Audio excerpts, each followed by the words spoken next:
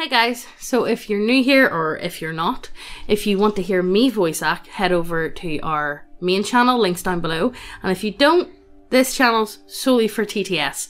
Um, if you want to know all the details about what's going on, we have a stream up that you can go and watch, but let's just get into the video. So this is another story from the Paladin DM that also goes by Lord Ilthari. If you like his work you should check out his subscribe star to support him directly or check out his YouTube channel linked to down below. And with that out of the way let's get into the story. Kill Team Equinox, an introduction to Alvera, M. 41. It is the 41st millennium. For more than a hundred centuries the Emperor has sat immobile on the golden throne of Earth. He is the master of mankind by the will of the gods, and master of a million worlds by the might of his inexhaustible armies. He is a rotting carcass writhing invisibly with power from the dark age of technology. He is the carrion lord of the Imperium for whom a thousand souls are sacrificed every day, so that he may never truly die. Yet even in his deathless state, the Emperor continues his eternal vigilance. Mighty battle fleets cross the demon-infested miasma of the warp, the only route between distant stars, their well lit by the Astronomican, the psychic manifestation of the Emperor's will. Vast armies give battle in his name on uncounted worlds. Greatest amongst his soldiers are the Adeptus Astartes, the Space Marines, bioengineered super warriors. Their comrades in arms are Legion, the Imperial Guard and countless planetary defense forces, the ever-vigilant Inquisition and the tech priests of the Adeptus Mechanicus to name only a few. But for all their multitudes, they are barely enough to hold off the ever-present threat from aliens, heretics, mutants, and worse. To be a man in such times is to be one amongst untold billions. It is to live in the cruelest and most bloody regime imaginable. These are the tales of those times. Forget the power of technology and science, for so much has been forgotten, never to be relearned.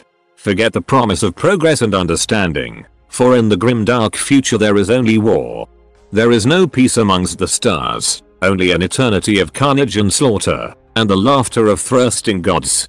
In the Atlas sector, within Segmentum Tempestus, yet another threat seeks to snuff out countless billions of lives. A seething swarm of vile Xenos numbering in the billions, devouring all in their path. These are the Tyranids, a species of foul aliens bound together by a powerful hive mind, driven by an insatiable hunger. The wretched aliens endlessly seek more biomass to expand their hive fleets. This particular tendril of the Great Swarm has been designated Hive Fleet Terrask. For years now, Terrask has devoured its way across the less important worlds of the sector while the laborious cogs of imperial bureaucracy rally the forces necessary to put a stop to it. Now the hammer of the Imperium, the Imperial Navy, is ready to strike back, with aid from the Emperor's own sons, the Adeptus Astartes. Above the vital world of Alvera, the Imperial forces light the void with the exchange between Lance batteries and Tyranid bioweaponry. However, the planet is already in grave danger. The vile Xenos have begun their invasion of the planet, millions of spore pods falling from orbits, bringing an army of ravening horrors. Alvera cannot be allowed to fall. An ocean world originally colonized during the dark age of technology, the inhabitants live in several hive cities connected by great bridges. These man-made mountains of skyscrapers and hab blocks hold hundreds of millions to even billions of imperial citizens. The technology that allowed them to be built up from the depths of the planet spanning oceans is long since forgotten. Each hive represents massive pools of manpower for the Imperial Guard and industrial powerhouses able to produce the lasguns, uniforms, and power packs needed to equip them.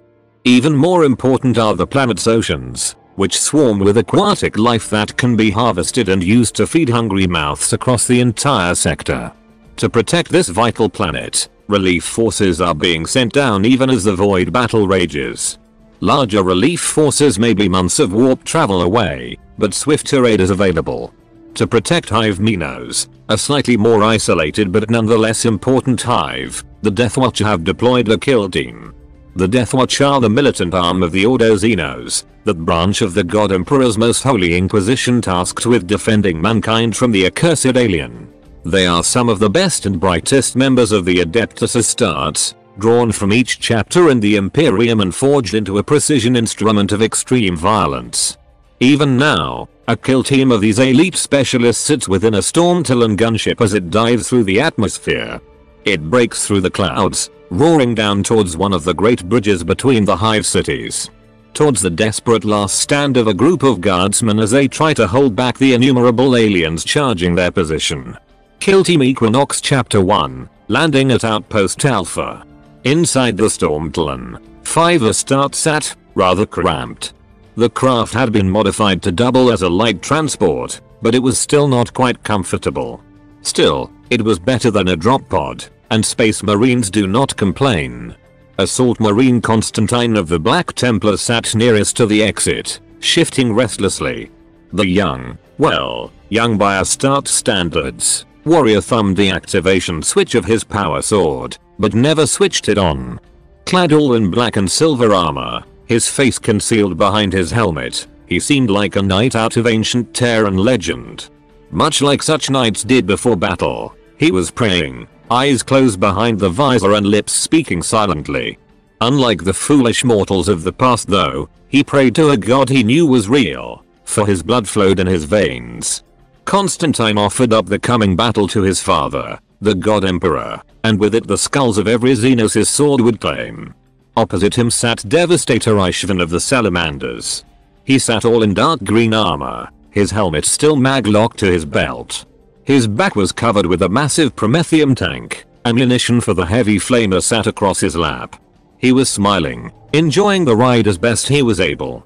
It was a slightly unnerving sight, for Ishvan, like all salamanders, was slightly unusual looking, even by the standards of the grossly over-muscled Astartes.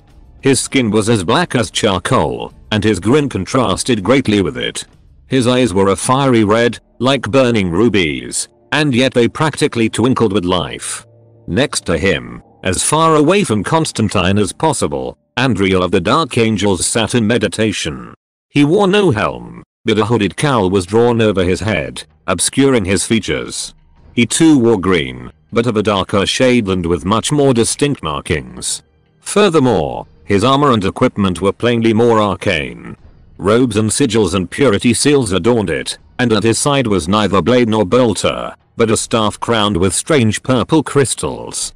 Witch, Constantine would call him, for Andriel was a Psyker, a mutant gifted with the power to draw upon the power of the warp. That supernatural, immaterial plane through which the Imperium traversed a void between the stars. The source of magic, and powers beyond reckoning and with them dark things beyond a mortal's worst nightmares. Across from him and aside Constantine sat a lupin old man. He wore neither helm nor hood, but let his long, ruddy red hair and beard flow freely over his shoulders. He was old, even by the standards of the Astartes, such that his hair and beard were streaked with silver. His fangs were long, his features canine, his eyes still bright. Over his blue armor hung the pelt of a fearsome Fenrisian wolf, the apex predator of his home world. At his belt hung a power axe, heavily customized with runes and totems to grant it the blessings of the friendly spirits, Froki and Loki. He was Wathin, Longfang of the Vlka Fenryka, or as the galaxy knew them, the Space Wolves. Lastly, in the cockpit, Morn of the Iron Hands, perhaps the most unusual of the whole strange band. He calmly operated the controls of the Stormtalon with not merely his hands, but also by directly interfacing with the machine. Heavily modified with cybernetics, Morn's mind interfaced with the craft as they descended far faster than any mortal could. From his back sprang several mechadendrites, extra mechanical limbs that managed the rest of the ship, both controls and also enacting the many rites of the machine god. Sacred unguents, smoking incense, chanting binary prayers to soothe the machine spirit. Meanwhile his steady hands guided the Stormtalon down at precisely the angle where speed was maximized. Without, of course, turning the inhabitants and more importantly, the ship, into flaming chunks. Sergeant Atra Germanicus of the Alvaran 23rd Infantry Regiment was the first to hear it coming. The roar of engines could be heard even over the screaming horde of monsters trying to turn her into nondescript goop. She could not look up because of said monsters currently charging her position.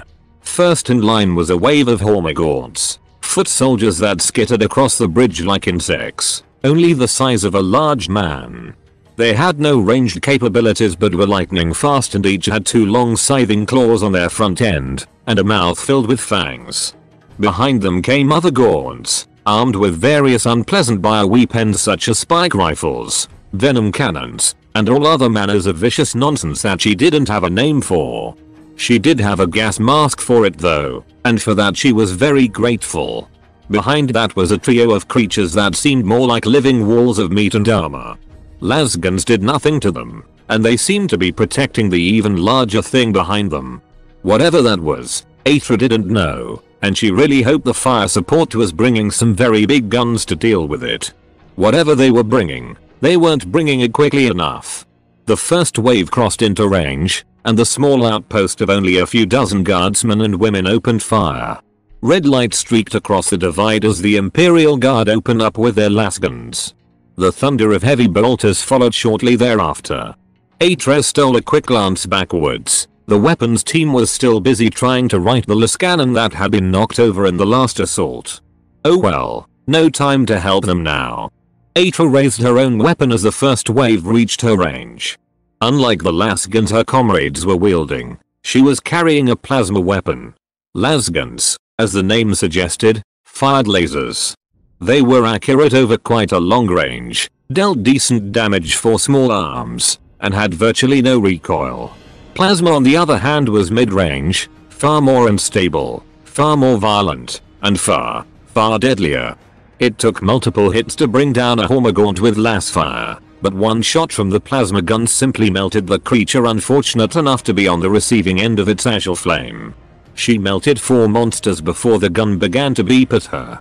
Hitting a button near the trigger, she winced as the weapon vented scalding steam. To call plasma temperamental would be an understatement. The Tyranids closed. The guard had put down dozens in their charge, but there were hundreds in this attack. Aethra got off one more shot before a gaunt leapt over the sandbags she was hiding behind. She interposed the gun between herself and the monster, turning aside the claws meant for her throat. Instead, it simply ripped through her flak armor and left a long, narrow cut along her shoulder.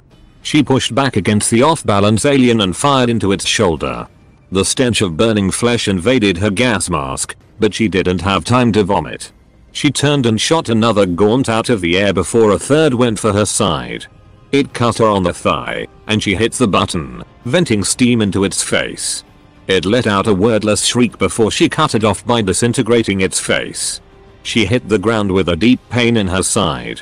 A bone spike had hit her armor and bounced off, but it was still enough to crack a rib. She rolled over, trying to get to her feet when yet another tyrannid leapt at her.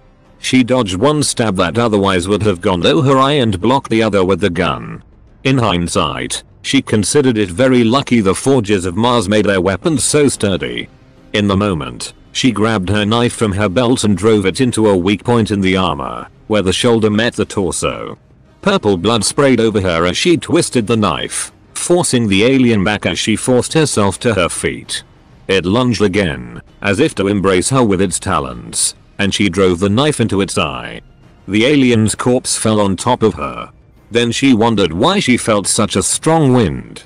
The storm Talon had arrived, Constantine was the first out of the ship as it hovered over the bridge. Plunging down with his power sword in one hand, and his combat knife in another, he landed on top of a gaunt with a venom cannon, crushing it like the bug it was under his massive armor. For the Emperor. He bellowed his war cry, loud enough the entire battlefield could hear it. He moved like lightning back into the enemy horde, sending alien limbs and heads flying like leaves before a hurricane. Bone rifles glanced off his armor, and Hormagaunt talons scrapped against it uselessly. That is if they were lucky enough to hit it. Constantine moved far, far faster than a man of his size would appear, and his armor would apparently allow. He parried aside claws with such speed it seemed the Xenos were moving in tar. His blades cut through their armor like butter, leaving any gaunt that drew near him in several pieces he trampled over. The bone armor crunched under his boots. Aethra was almost dumbstruck, but not too dumbstruck to stop firing. Constantine was moving away from the defensible position towards the titans in the third line, which was all well and good except the guard's outpost was still being overrun. Fortunately, the second son of the emperor was well suited to fixing that problem. Ishvan landed in Constantine's wake, heavy flamer already firing as he dropped. Like the flaming reptile his chapter was named for, he unleashed hell upon the alien horde. Tyranids were turned to ash under a roaring tide of promethium as he swept in a semicircle around himself. The filthy aliens were cleansed in holy fire before he finally cut the feed and started advancing, slower due to his heavy ammunition backpack, but towards the guardsman's lines. Fear not. He declared. The Emperor protects. The others followed swiftly thereafter. Wathin was next out the door, and followed after Constantine into the horde, singing songs of battle as he went. His bolt pistol barked out several times, each followed the sound of a tyrannid head popping as the armor-piercing grenades drove through the bone with contemptuous ease. Then he was in the melee. While Constantine might be compared to a swift, almost elegant blender, Wathin was simply a battering ram. Constantine cut off heads, Wathin cut gaunts in half. Long, powerful blows cleaved through the swarm, the old wolf using every ounce of his brute strength and weight to push through with raw violence. Andriel stood back from the main line, then leveled his staff at the bridge. A forest of lightning sprung up, covering half the bridge. That was not entirely metaphorical either, the lightning took the form of great trees, between which vines hung and a lion formed of psychic power prowled. With the enemy somewhat more stymied, he turned his attention to the other half of the bridge. Arrows of flame and swords forged of dark ice formed around him and hurtled into the ranks of the enemy, each one as lethal as a plasma blast. Meanwhile, Morn opened up with the Storm Raven's weapons. Twin assault cannons spent hundreds of rounds and seconds, while two more heavy bolters scattered more explosive ammo into the enemy's ranks. The weapons were far less accurate than he would have preferred, but with this many enemies it hardly mattered. He calculated that purging 16.1242% of the enemy force would provide sufficient cover for his battle brothers, and that Ishvan would provide sufficient cover for the guard. Once he had exterminated exactly that many Xenos, a process which required 146.34 seconds, he turned his guns on the tyrant guards. The huge, bulking walls of flesh were in fact, also Xenos. Remarkably dumb Xenos, but equally tough. One interposed itself between the guns and the creature behind it, and simply ate fire. The full might of the Storm Raven tore into it for nearly half a minute before the monster fell. At that point, it was more hole than life form, but it did its job and bore time. Behind it, the Hive Tyrant commanding this scouting force had made the requisite calculations. Drawing upon the Hive Mind's vast library of combat experience, it recognized the thing attacking it as an Astad Stormtalon. It also learned that the Stormtalon's VTOL engine sucked in large quantities of air. The monster fired twice from the massive acid cannon that made up one of its many limbs. Morn thought the alien had missed, and then realized his mistake when he sensed the machine spirit's pain as the turbine sucked in the corrosive bioacid. Morn ordered the main engines to immediately stop, and the other engines to turn. The aircraft dropped like a stone, turning sideways to become a wall between the guard and the horde. It was not a soft landing, but the Storm Stormtalon was not a soft ship. She was bruised, but the turbines were able to stop before they spun the bioacid around in them and utterly ruined them. Morn disconnected himself from the ship and calmly walked out the back onto the bridge, drawing his bolters as he went. These were a halfway point between the bolt pistol Wathin used and the heavy bolters on the Stormtalon. They were the standard issue for almost all Astartes, a holy symbol of the Emperor's wrath. Of course, most space marines only carried one, and used it with both hands. Most space marines were mostly flesh though. Morn raised his bolters towards the line where the guard and the Gaunts were locked in the mortal combat. He took a moment for his targeting computers to note trajectories and account for drop and wind, then began to open fire, at full auto.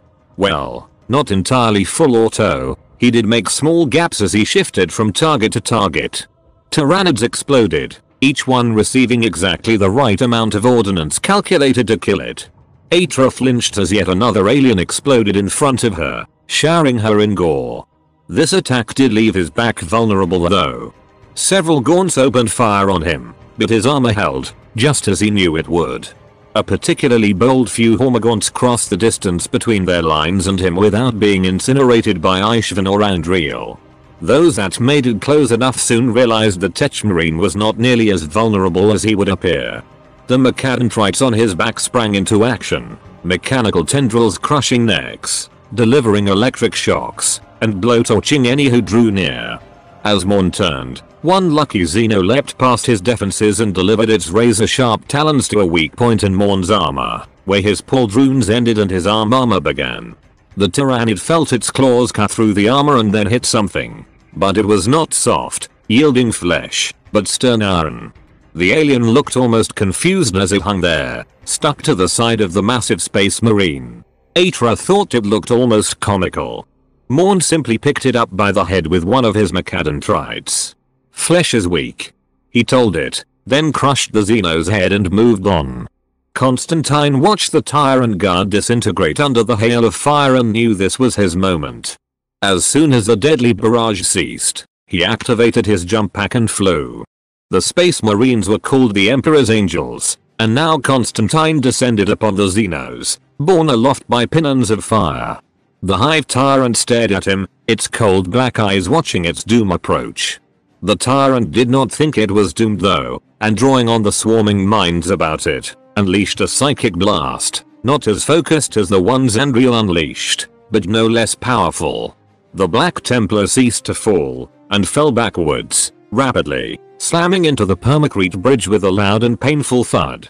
His body and mind alike burned in agony from the psychic attack, but pain never stopped a son of Dorn. As the Gaunts leapt at him, trying to overwhelm him with numbers while he was fallen. Constantine leapt up screaming in rage. Xenoswitch. He cursed the monster. He cut apart any who stood in his way and charged forwards, dragging several Hormagaunts that tried to leap on him with him. One fell off and he trampled over it without thought. I will have your head. He bellowed, his battle brothers wincing and lowering the volume on their Vox receivers. He cut out enough room to fire his jump pack and leapt again, but this time his way was blocked by the second tyrant guard. Constantine hit the living wall like a remarkably angry bowling ball. Unfortunately, this was a rather sturdy wall. He tried to drive his knife into the monster's head, but the blade scrapped off it, leaving a long white scratch but little else. The guard swung a talon roughly the size of Constantine's head directly at said head with enough force to knock over a tank. Constantine parried with his power sword, though the effort nearly jarred it from his hand. He did notice however that the Tyrannid's armor couldn't stop the powered blade. He locked his knife to his hip and took the sword in both hands, lunging to pierce the alien's heart, when yet another psychic blast sent him skidding back.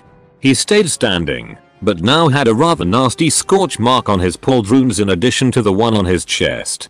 To make matters worse, the other tyrant guard was now getting involved. The brutes were stupid, but even they knew that attacking the threat to their charge from both sides was more effective than one at a time. They are tyrannids for the emperor's sake. Their whole shtick is overwhelming numbers in a way that only the Orks could rival. Constantine was brash, but not so brash to think he could take on both of these monsters and the hive tyrant at once. Instead of retreating like a sensible person, he instead radioed the squad. Where are you? I require aid to purge this abomination. Executing the backup plan C7. Morn responded calmly as he continued to quickly and efficiently exterminate any Tyrannid with ranged weaponry. You appear to not have noticed that the Talon was damaged, as you remain in close combat with the Tyrant Guard. He informed his less rational brother. Next to him, Ashvan began advancing, his heavy flamer keeping back any who would attempt to close to melee with them. We do not retreat from Xenos. Constantine spat back. He knocked aside another attack from the first tyrant and countered, removing one of its arms with a mighty blow. Before he could capitalize, the other caught him with a glancing blow, but it was still enough to almost knock him down. The Emperor protects. He chanted the mantra. Well he's busy. I'll cover for him. Wathin responded, almost lightheartedly, as he finally caught up with his younger brother. Sprinting forwards, he shoulder checked one of the tyrant guards. It only tipped the thing, rather than turning it to paste, but it was off balance. He cut one of its legs out from under it with a mighty blow, then fired the full clip of his bolt pistol into its head. The thing was too stupid to realize it was dead though, and tried to swing at him. Wathin almost casually knocked it aside and raised his axe to finish the beast when the tyrant intervened. Both Wathin and Constantine were struck by pain that nearly blinded both of them as the tyrant dropped the psychic weight of the hive mind on top of them like a thousand tiny screaming anvils. Andriel sensed the attack, and realizing the threat was one that could not be defeated with merely blasting the creature in question to pieces, contacted the guard, Ishvan, and Morn. I must drop the barrier. Charge the left. He ordered them with a telepathic command, then flung his mind to battle the tyrant. He had no hope over overpowering the creature. It wasn't just one rather powerful mind, but thousands of tiny, weaker minds. It was like trying to hold up a boulder and every pebble on a beach all at once.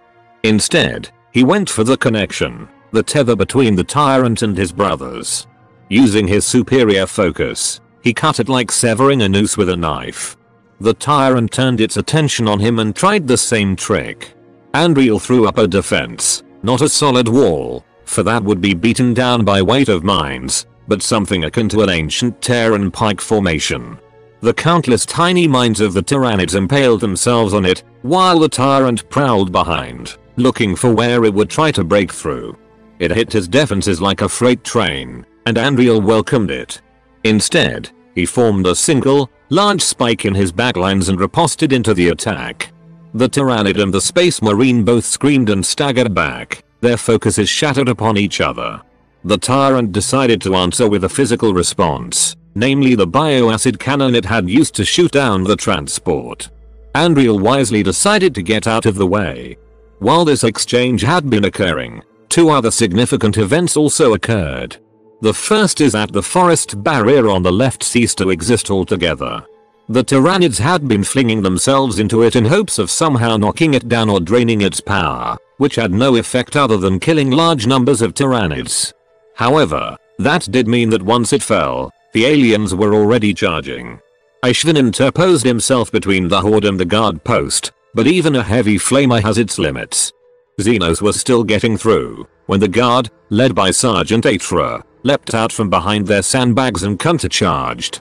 Lasbolts and plasma blasts led the way, cutting down gaunts and blunting the tide. Morn did not charge the left, and instead preserved the right, something far easier considering the storm Talon he had landed on the bridge largely bottlenecked the enemy. Using his Mechadendrites to reload as he fired, he kept up a constant stream of bolter fire, the other notable event was that a tyrant guard was prevented from crushing Constantine into a bloody pulp. The creature certainly tried, but Constantine was still able to move somewhat despite the psychic barrage. He staggered away from the brute's clumsy swipes, unable to risk getting close enough to kill it. He backed off, almost to the edge of the bridge, when a massive red blur smashed into the monster and disintegrated a hole through its body where its head used to be. The Imperial Guard's las cannon had finally been righted, and the weapons team had taken a shot at the biggest alien on the field. Unfortunately for them, the biggest alien was far from the most dangerous. The Hive Tyrant sensed its bodyguard's rather violent demise and reacted accordingly. It turned its attention from attempting to dissolve Andriel to succeeding at dissolving the weapons team. They were not even able to scream, as the Hive Tyrant fired both its heavy venom cannon and its acid sprayer at them practically drowning the area in bioacid. The virulent solvent even ate into the las cannon itself, and the gun exploded as its power packs were ruptured. Then the tyrant noted that its last bodyguard was dead, and also that Wathin was standing back up, and Constantine was charging. If the Tyranids engineered their commanders to feel fear, the monster probably would have retreated. Unfortunately, they do not. The tyrant lashed out at Constantine with a long tendril, slowing the Templar as he was forced to parry the attack or risk being flung off the bridge. The Space Wolf was another matter. Wathin ducked the monster's tendril and swung his axe for its belly. The tyrant was smart enough to not try to block a power axe, and instead used its last two weapons, a pair of talons similar to a Hormagaunts but bigger, to block the wolf's arm. It was not sharp enough to cut the power armor, nor strong enough to crush it when it wrapped its talons around the marine's forearm, but it was strong enough that he couldn't just slip free. With Wathin immobilized, it raised its acid sprayer to melt the old wolf. Wathin turned, and with his free hand he fired the last three shots in his bolt pistol into the arm holding the acid sprayer. When that didn't stop it, he dropped the pistol, grabbed his knife, and threw it at the area the bolt rounds had softened up, severing the arm before it could fire. With that dealt with, he turned and began to punch the arms holding his, steadily breaking enough bones to pull free. The tyrant focused its long tendrils and venom cannon on Constantine, trying to keep the Templar and his deadly blade back. It ordered its forces further back to try and swarm the Astartes and preserve its life. This allowed the guard and the marines in the back line to move forwards. The tyrant hissed as it felt a sudden painful burning sensation in its chest, mostly due to the plasma currently sitting there, courtesy of Atra. It also ordered a wedge of gaunts to close in and kill her, and also turned its venom cannon on her. It still outnumbered the Imperials 10 to 1, but it had begun this engagement outnumbering them 40 to 1. It was losing. The wedge came on and Ishvan recognized it. He interposed himself between the aliens and Atra, opening fire. He fired in an upwards angle, burning away the venom of the venom cannon before it could hit either of them, but this meant a Hormagaunts towards the back were able to close in. They completely ignored him, and while he was swift enough to catch one, the other survived. He turned, hearing the sound of splitting flesh, expecting to find the sergeant in several pieces. Instead, he saw her turning from the slit throat of the Hormagaunts to plunge her knife into its eye. Ishvan smiled approvingly. Meanwhile, Andriel spotted the blow patch on the tyrant and realized they had an opportunity. Pushing himself slightly, he rallied his control and impaled the Tyranids in front of Morn. The plasma has damaged the armor. Special issue, he suggested, and Morn agreed. He spent his current ammunition and this time, his Trites grabbed some rather special bolt rounds. He turned, and delivered two full magazines into the section of weakened armor. These bolts were Hellfire rounds, containing a special anti-biological combination of acids and incendiaries. It spread like its namesake inside the massive bioform, tearing it apart from the inside. Wathin finally managed to break free and dragged his axe across its gut, disemboweling the alien. Constantine also took his opportunity. With the beast staggered, he fired his jump pack for a third time. With a single blow, he fulfilled his promise to the alien which by splitting its head from its body. He landed on his feet, the tyrant toppling over behind him. With the death of the tyrant, a shockwave went through the aliens. The death of such a powerful mind so close to them outright killed many of the lesser creatures. Those that survived went into a killing frenzy, attacking whatever was nearest, including each other. The guard cleaned up, and in a matter of minutes, there was not a single living Xeno in sight. Cleanup complete, the space marines begin to reassemble and evaluate their status. Constantine and Wathin were sore from the Hive Tyrant's psychic assault and the Black Templar in particular was bruised from his repeated falls. However, neither had sustained serious physical damage. Their armor was stronger than a tank's, practically invulnerable to the vast majority of Tyranid small arms. The guard were not so lucky. The Tyranid attack had mauled the unit, and it was a small miracle the unit had not broken and fled before the swarm. Those few who were only lightly injured or in rare cases, unharmed, quickly set to work gathering the more badly wounded into an impromptu field hospital. Ishvan approached the guardsman, and those who were not currently carrying the wounded knelt before him. Eight were approached first, speaking on behalf of the unit. Milords, you have our utmost gratitude for saving our unit. You did very well yourselves before we even arrived. You held the line in the face of the enemy and provided valuable assistance in turning back this scouting formation. Alvaro is lucky to have such stalwart men and women to defend it. The note about this being a scouting formation made Atra feel the ever so faintest bit of sickening terror, but she composed herself before she could embarrass herself in front of the Astartes. After all, the commissar would have shot her for expressing such feelings, let alone one of the fearless space marines. Milord, you said this was a scouting force?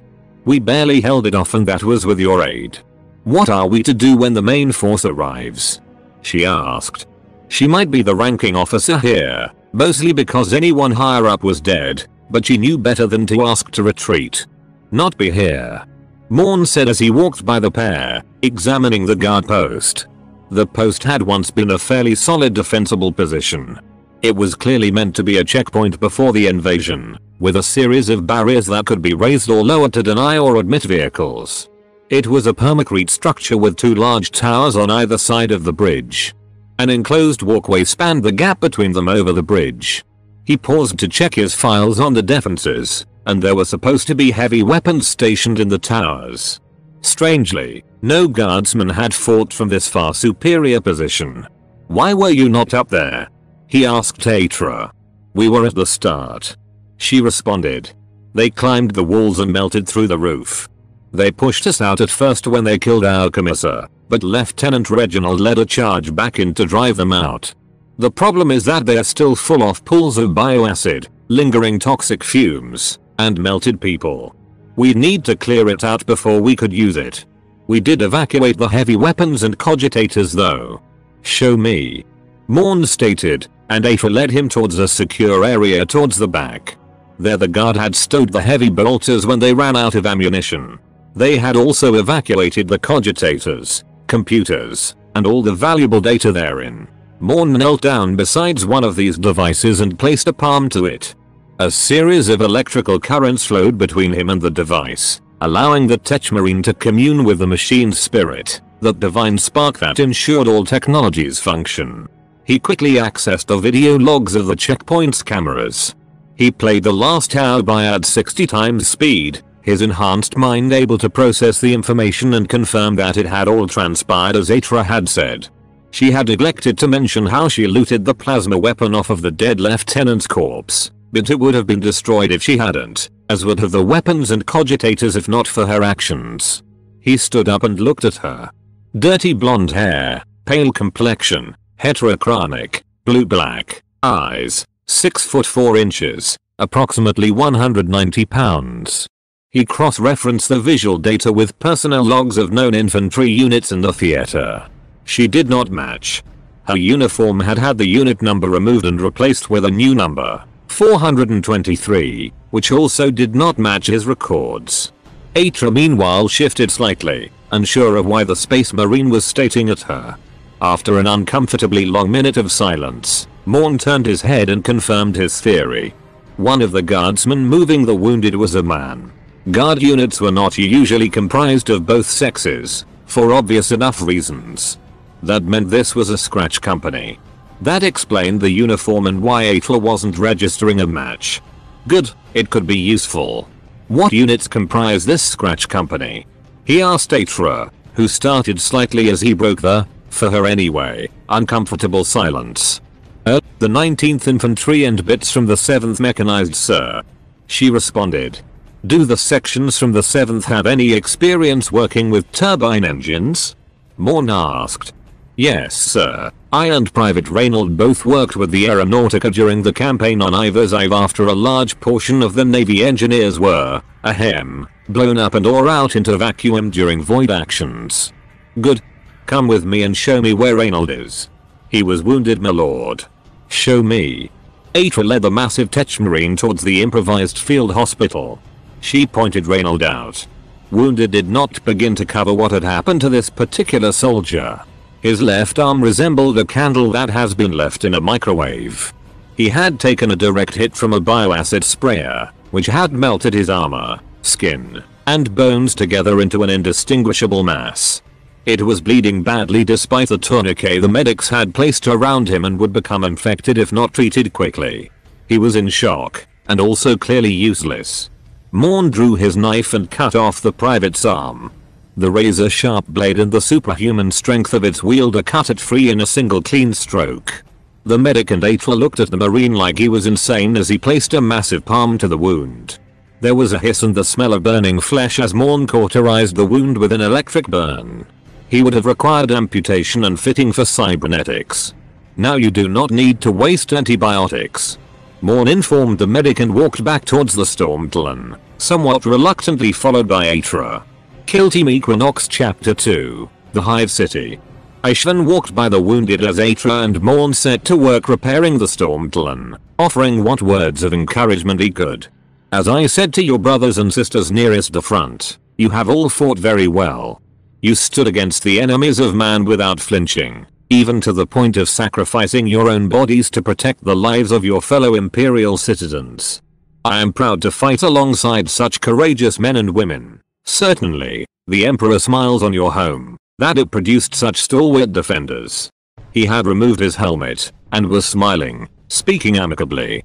He was trying to seem as normal, as merely human as possible to them to put them at ease.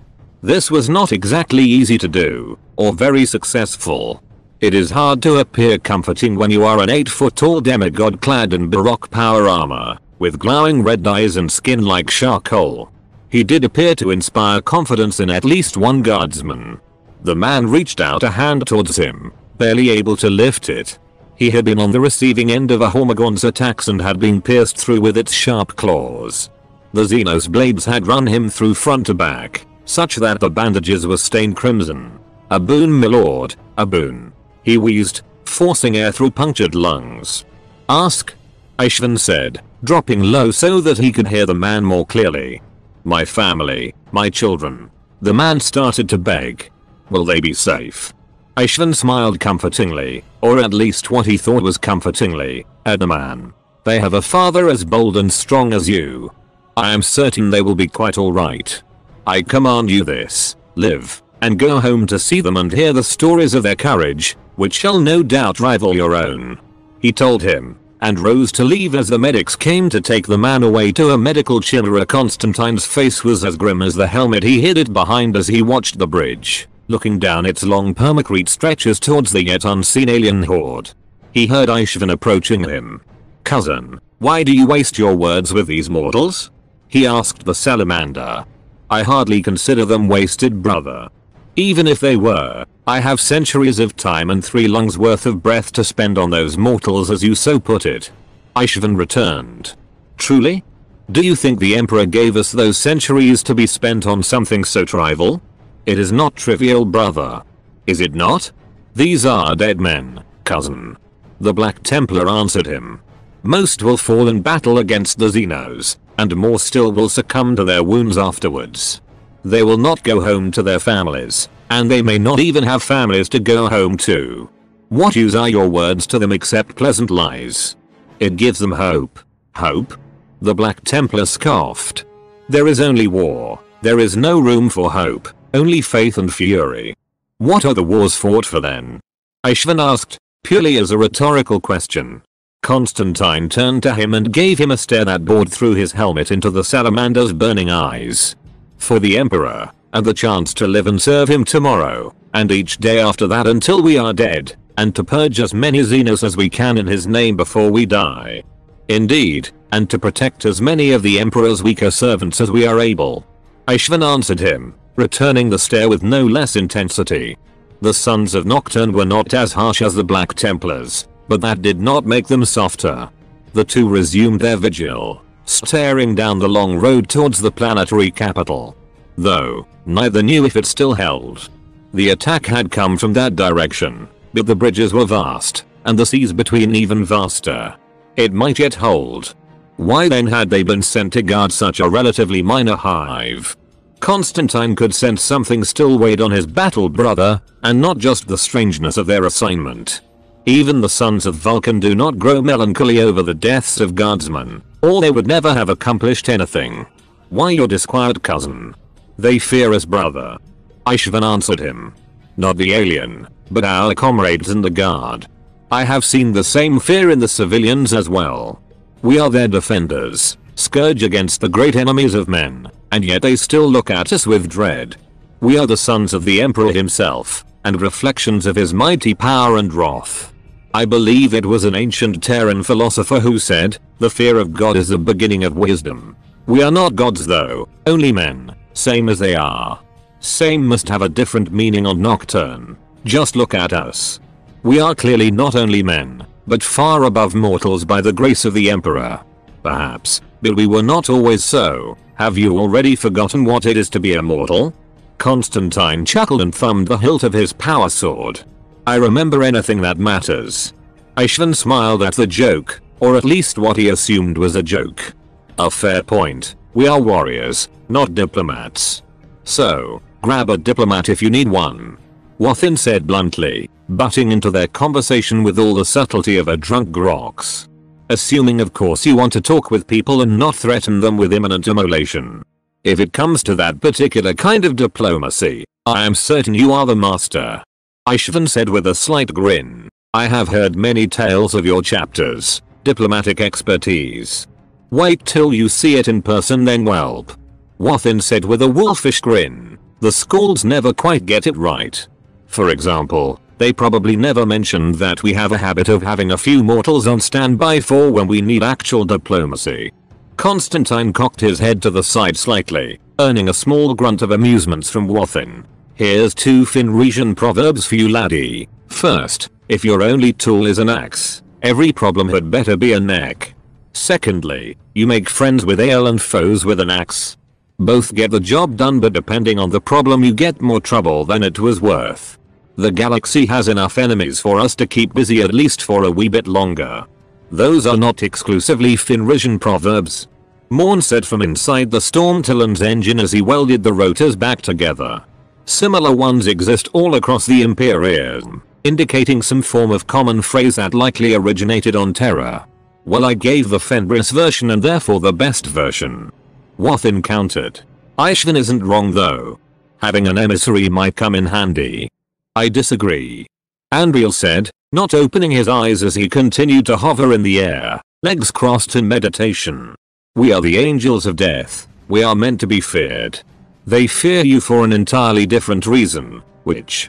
Constantine growled at the Psyker, who ignored him.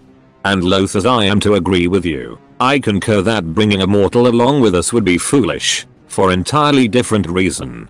Anyone we bring along would simply die at best and slow us down at worst. Concern noted. Atra, you are coming with us. Morn said as he continued his work. What? Said Atra and Constantine at once, one confused and slightly terrified, the other confused and mildly more enraged than usual. Both my observations of the most recent combat and analysis of her file indicates that she is the most competent mortal currently available to us. Furthermore, her recorded history with the guard would provide her with an understanding of our guard allies that we might maximize our effectiveness. Would you mind explaining what you mean by history to those of us without a cogitator bolted onto the side of their head? Wathin asked, about as politely as a space wolf can ask. Five standard years of service in two theaters, the Akan V rebellion against a renegade governor and her forces, and then the Isthmus III crusade to counter Wayeg Magnots. Morn explained, causing Andriel to raise an eyebrow. You have survived 5 years, facing not only renegades but also the Orks and are only a sergeant. Why? He asked Atra telepathically. Atra stumbled backwards, almost falling over in surprise before she realized what exactly was going on. What in the Emperor's name? What is this sorcery? Oh, you're a Psyker? Apologies my lord. Not all guardsmen fight like Krieg, and many regiments have somewhat ridiculous ways of handling officer roles. Andriel could sense the heavy weight of resentment, primarily directed at a series of men who looked mostly like they hailed from some manner of hive nobility. There was also no small amount of anger towards various commissars that seemed to come and go with surprising rapidity. He opened his eyes and looked at her. Andriel had a gift, or perhaps a curse, it was hard to be certain. He was a Psyker, and as stated before that was in and of itself a gift and a curse.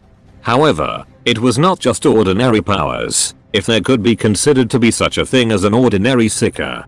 He could see the touch of the gods, and how easy it would be for the ruinous powers to reach out and grasp at someone with their wretched corrupting tendrils. It had always been there, a flickering series of lights around a person's aura, not an indicator of taint, but rather how they might be tainted.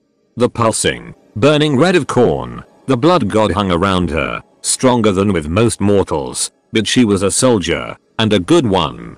It seemed no more intense than that he sensed from Ishvan, and was lesser than the boiling mist surrounding Constantine and Wathin. She also had a touch of putrid green in her aura, A smaller but still rather noticeable section where Nurgle, the plague god could creep in. Once again, not immune to corruption by any means, but she seemed to be one of the less corruptible mortals he'd met. She even surpassed some who prided themselves in purity, he thought as he looked at Constantine. He could barely see the black armor under the swirling mists of blood red and Slaaneshi purple. The two weaknesses whirled around and inside one another, each one building up the other. And the Black Templar called him a witch. He shook his head and turned back to Morn. It almost comforted him to see the blue electricity of Tzeentch running over him. If there was nothing there, he might have thought the Techmarine to be as soulless as his machines. If we must have an emissary, this one is acceptable. Morn nodded as he finished his repairs. This will suffice until we can reach the Hive's manufactorum for proper repairs. We depart immediately, including you Atra. The flight back down the bridge was somewhat more awkward, but not noticeably more cramped than the flight down from orbit. Atra was not a small woman by any stretch of the imagination, but she was utterly dwarfed by the sheer amount of space an Astartes and power armor takes up. Andriel was the smallest, and even he was 7 feet tall. Ishvan stood another 2 feet higher. Combined with the weight of their tank-like armor, Atra considered it a small miracle that a craft managed to fly at all. Still, the Stormtalon did fly, noisily, and slower than it flew in, but still swifter than the Salamander light transports racing along the bridge beneath them. Atra was sat near the cockpit and Morn and so was able to see out the viewport as they approached the Hive City. Approaching it from the air gave a new perspective to her home. The hive sat at the end of a single massive bridge that spanned the expanses of the endless waves of Alvara. The bridge ended at a great gate, the only entrance and exit by land. The city was surrounded by high walls, atop and in which many weapon batteries were placed. They were heaviest in quantity and lowest in ordnance around the gate itself. This was the strange paradox of the Great Bridge, that it gave only a single approach by land, but also could not be battled upon lightly. The bridges that connected the ancient hives were relics, created long ago in the dark age of technology, before the Imperium. Their surfaces could be patched, perhaps even large gaps rebuilt, but if their support pillars, which reached all the way down into the abyss several kilometers underwater were damaged or collapsed, they would be utterly irreparable. The technology to construct works of this size at that depth without the need for constant, expensive, and dangerous maintenance had been lost long, long ago. Though if that technology was impressive, the hives themselves were nothing short of miraculous. As the kill team flew over, they could look down and see what appeared to be land, or at least the illusion of it generated by countless streets, highways and rail lines that ran between and connected the various hab blocks. The blocks themselves rested on what looked like ground, or at least a disk of permacrete if such a thing can be called ground. That was only a thin veneer though. Underneath that, the hive ran all the way down to the ocean's depths, a massive pillar of interconnected tubes, fisheries, hydroelectric plants, and other necessities needed to keep the main habitation units above water going. Of course, that didn't mean the underhive was uninhabited merely that it was supposed to be. Nothing like this could be built in the modern Imperium. It would simply be too expensive with current technology, if it were even possible. These aquatic hives made Alvera an incredibly valuable manufacturing and food producing world, and to some, even holy. Speaking of those who had a more spiritual view of the hives, the Stormtalon was currently flying towards their main cathedral in the hive. It was a massive factory cathedral, stretching from the underhive all the way up to the upper spire in a single unit. In it dwelled, worked, and worshipped hundreds of thousands, perhaps millions, from lobotomized semi-mechanical servitors, to the lowly laborers just slightly above them, quite literally, to the factory deacon foreman, to the adepts and magi that truly ruled this miniature factory city within the city. The great iron rose of the cathedral showed a human skull, heavily augmented, and surrounded by a halo of machinery. It was an image of the Omnissiah, the God Emperor, the machine god from whom all technology flowed. It marked the Manufactorum, and all those within it, as property of the machine god, stewarded by his servants, the Adeptus Mechanicus, the tech priests of Mars. Morn carefully guided the storm to Stormtalon towards the factory, a series of chattering beeps flowing back and forth between him and someone or something on the other end of the Voxhaler. Atra cocked her head to the side curiously as she watched the Techmarine work, noting the red cog on the back of his armor, the same kind she had seen on tech priests before. It is Techcant. A more efficient binary language that cogitators use to communicate. Both I and the priest I am communicating with possess the necessary augmentations to use it. Morn explained, startling Atra. He hadn't turned his head, or shown any indication that he had noticed her at all. So, you're a tech priest and an Astartes? I didn't realize you could be both. Atra asked curiously. I am a tech marine. I attend to my brother's machinery. Even bolters and power armor require repairs and maintenance, the same as your flak armor and that plasma gun you carry. Oh, I see. That's also why you've got a few extras? Atra asked. And the metal arm? Both my arms are metal as are my legs. Morn responded calmly. And these are Mechadendrites. Wait, you lopped off both your arms and your legs? That seems a shade mad, even by Medusan standards. Wathin suddenly commented from the back. No. I did not intentionally remove all of my limbs. It is traditional to remove the right hand and replace it with superior steel, but no, we do not intentionally replace any limbs altogether. What kind of fights have you been getting into then? Wathin asked. Because that sounds like a tale well worth the telling. One fight. Morn corrected the old wolf. And it has been recorded well enough already.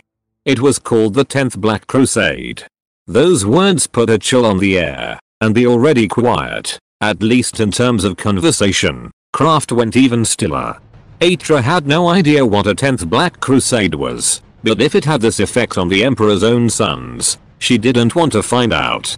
Wait, wouldn't that make you Andriel began to ask Morn 857 years old, yes. Assuming you count time spent in stasis, which makes up about half of that Morn answered him. There was little time for the atmosphere to recover, for they swiftly landed and disembarked. The craft was almost immediately surrounded by a small mob of red-robed cyborgs who set to work replacing the damage engine. Morn led the way as the kill team plus Atra walked off the landing platform and started into the Manufactorum. Where exactly are you going? Constantine asked Morn as they walked. The governor's palace. We should arrive there and meet with the Inquisitor as well as local command quickly. Morn responded. I concur, but how do you plan on getting there on foot? We have neither map nor a guide to this section of the city, unless the mortal happens to have been here. Constantine remarked.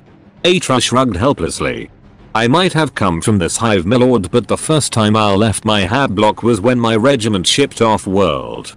I haven't been here in 5 years, and even then, I don't have any clue how to get to the palace, or even really where we are right now. Morn walked up to a nearby terminal and one of his Mechadendrites plugged in. He went quiet for about a minute as he communed with the machine and extracted what he wanted out of it. Maps and schematics of the upper spires and especially the governor's palace were restricted behind several layers of security, but that did not matter to Morn. The security was good. These were the Mechanicus's computers after all, but not good enough to deal with a Tech Marine. He retracted the Mechadendrite and started walking again. I have a map now. The Astartes and the sergeant moved fairly quickly through the Manufactorum. The halls were crowded, but the workers and adepts alike moved aside before the Emperor's angels. Many stopped and stared as long as they could get away with before the glares of the adepts got them moving again. The one exception to this was the servitors. There weren't many of the lobotomized creatures, most of them just moving heavy loads like beasts of burden, but they did not have quite the sense or the programming to avoid the Astartes. The space marines simply went around them. It was hardly any trouble. Atra on the other hand gave the creatures as wide a berth as possible, actively looking anywhere but at the former humans. They quickly reached the various transports used to ferry the products of the factory to the rest of the hive and beyond. The mortal crew members and captains of the haulers turned to stare as the Astartes approached them. Atra stepped forwards, they had brought her along to speak to the other normal humans and she was not going to be found lacking. She approached the nearest captain. The Emperor's sons require transport to the governor's palace immediately. You will provide it. She ordered him. He nodded and saluted awkwardly. Of course, you'll have it. I just don't have authorization to get anywhere near that area. You'll have it. Morn informed him as the space marine walked past him into the transport. This is not what I expected when you said you had a plan. Constantine said as the group assembled in the hauler and it lifted off. This is the fastest way to the governor's palace. Morn responded calmly. This is a cargo vessel. Cargo vessel or not, it did get them there quickly. Relatively quickly, as the hauler was painfully slow compared with the speed of even the damaged Storm. Still, it made it, and landed on a rather beautiful landing pad. Atra had to shield her eyes from the light, as the hauler obviously had no windows, and it was also far brighter up here than down below. She looked out onto what might as well have been another world. They had landed in what looked to be a private park of some kind. Green grass flowed out all around them. Rows of flower beds lined paths made not of permacrete but of scattered stones held together with mortar. The sky was bright, and the sun hung over it. Here they were above the clouds, and the sky was blue, not brownish grey as with below. They could actually see the clouds beneath them, a sea of golden brown and greys. Only the very tallest buildings from the lower hive could be seen, like the manufactorum or a few anti-void gun batteries. The air was clean, and the smell of grass and flowers replaced the stench of industry and countless humans. It was also practically empty. There were several families out picnicking, or at least they were before the giant slab of scrap metal that was the hauler landed nearby, but no great crowds, no masses of people. It was quiet. It was peaceful. Up here you could hardly tell the planet was under attack by an enemy that would devour all this peaceful scenery and drag everyone enjoying it into pools of acid to be digested. Assuming they didn't simply just eat them alive during the attack. As the Astartes descended from the platform and the hauler took off with all the grace of a drunken horsefly, Atra could hear a bike approaching. Indeed a motorbike was approaching, and sat atop it was a heavily armored officer of the law. It stopped, and the man atop it stepped off, a shock maul in one hand and a shotgun in the other. His face was hidden behind a heavy iron mask, and no flesh could be seen under layers of heavy armor and equally heavy badges, medals, symbols of rank, and of course purity seals. The officer of the Adeptus Arbites began to walk up the path ready to bring a whole new definition of the term police brutality to whoever was stupid enough to land on a noble's private park. Then he noticed just who had actually done that. The officer of the law didn't say anything. However, the fact that he dropped his weapons showed that he did indeed realize just what a titanic mistake he had almost made. He quickly picked them up, put them back in their holsters, turned around, got back on his bike, and rode away as quickly as the vehicle could take him. Atra smiled slightly. Apparently, he sent word along to everyone else as well while he ran away not quite screaming. Nobody even considered bothering the kill team as they walked the short remaining distance towards the highest point in the hive. The only road led them to a set of steps that led up a massive statue the size of a hill. The statue showed many guardsmen and women all working together to hold up a great disc, upon which was an image of the galaxy. Upon that disc, at the top of the hill and the absolute pinnacle of the world stood a grand palace of marble and gold. The governor or governess certainly had a taste for the overly grandiose. Atra noticed a small plaque as she walked up the stairs, slightly behind the Astartes. It read, Hostia this statue is dedicated so that none might forget the courage of the noble guardsman. Atra snorted as she looked at the titanic brass edifice. The amount of money this must have taken could have purchased a truly ridiculous amount of rations, power packs, warp take and decent armor. The thrones to outfit entire regiments to a degree stormtroopers might be jealous of sat there. That would have been much more appreciated than a statue they'd all be too dead or poor to see. Reroll is a great app available on the Apple and Google Play Store as well as desktop for creating beautiful 8-bit character art. The app has 14 supported races, 150 plus weapons, 400 plus armor pieces for you to mix and match, 20 plus mini bases. There is that much to work from I was able to make Cold Steel the Hedgehog, the god emperor of mankind, Pepe and they are always adding more artwork. The app also has a character sheet to help keep track of everything during games. And if that wasn't enough you can play about with the app for free with limited artwork. So go ahead check it out and if you decide to buy the app use promo code Neckbeardia for 10% off and it lets them know we sent you. It's a great sponsor and a great app and we hope you guys go ahead and check it.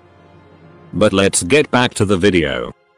Kill Team Equinox Chapter 3, The Cards in Hand.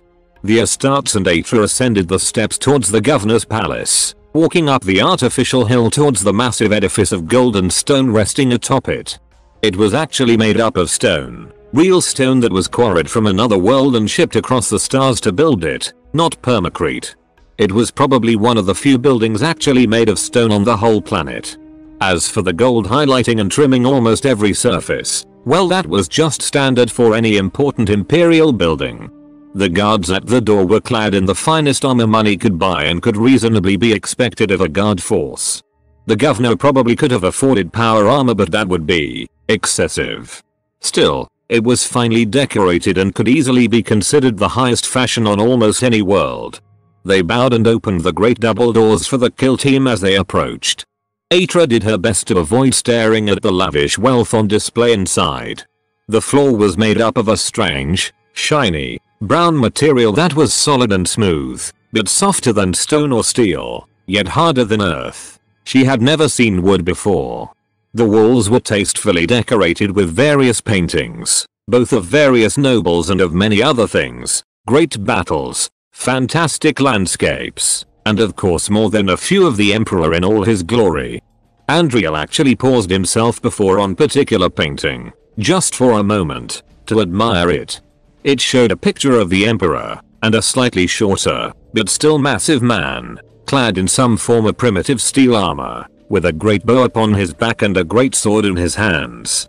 He was bowed on one knee, offering the sword to the master of mankind. Interesting, she has a Vangkok. He muttered to himself as he looked at it before turning away. A what now? Atra asked, somewhat surprised that the Astartes actually spoke. A Vangkok. He was a rather famous painter around M. 37. This is one of his series on the Primarchs. You can tell by the brushwork around the eyes. It's a certain technique he used to capture depth to make them and the Emperor as impressive as they really were. He explained, raising a finger to point at them. The eyes truly were quite impressive. They seemed to stare right back out of the picture at her, with a fragment of the same power and majesty the Emperor must have truly possessed. We can discuss the art later. Morn said as he walked past them. We have a governor to meet with. Atra nodded and followed. By the way, which Primarch was that? She thought, knowing that Andriel was probably listening. In response, the Dark Angel simply lowered his hood. For the first time she could see his face clearly. He was handsome, in a sort of rugged way, with a touch of the wild about him. He had long, blonde hair, and piercing black eyes. He looked uncannily similar to the kneeling figure in the painting. The party continued on to another set of guards, standing before yet another set of double doors. They opened them again and the kill team entered into the most ostentatious room yet. It was clearly a throne room, built for the sole purpose of awing anyone who entered. The room was built in a slight conic shape, with the wide end at the door. The room subtly narrowed as it progressed, and also elevated slightly. It made certain anyone at the wide end would be looking up at the narrow end, and the narrow end would always be looking down on any petitioner. At the very end stood a throne upon a raised dais. On that sat a shockingly beautiful woman, the kind of beauty that can only be achieved by enhancing natural beauty with very, very expensive treatments. She was clad in finery, real furs and precious gems. Somewhat unusual for a planetary governor, she appeared to be rather physically fit, almost as much as Atra herself. It was a far cry from the usual corpulent ball of lard that tended to occupy such thrones. A power sword rested at her side, and she looked at the entering Astartes expectantly. The Emperor smiles on me today. She said, though she wasn't smiling. In my planet's darkest hour, he sends his angels to aid me. I told you they'd get here in time, Hive Fleet or no. Another woman standing nearby remarked.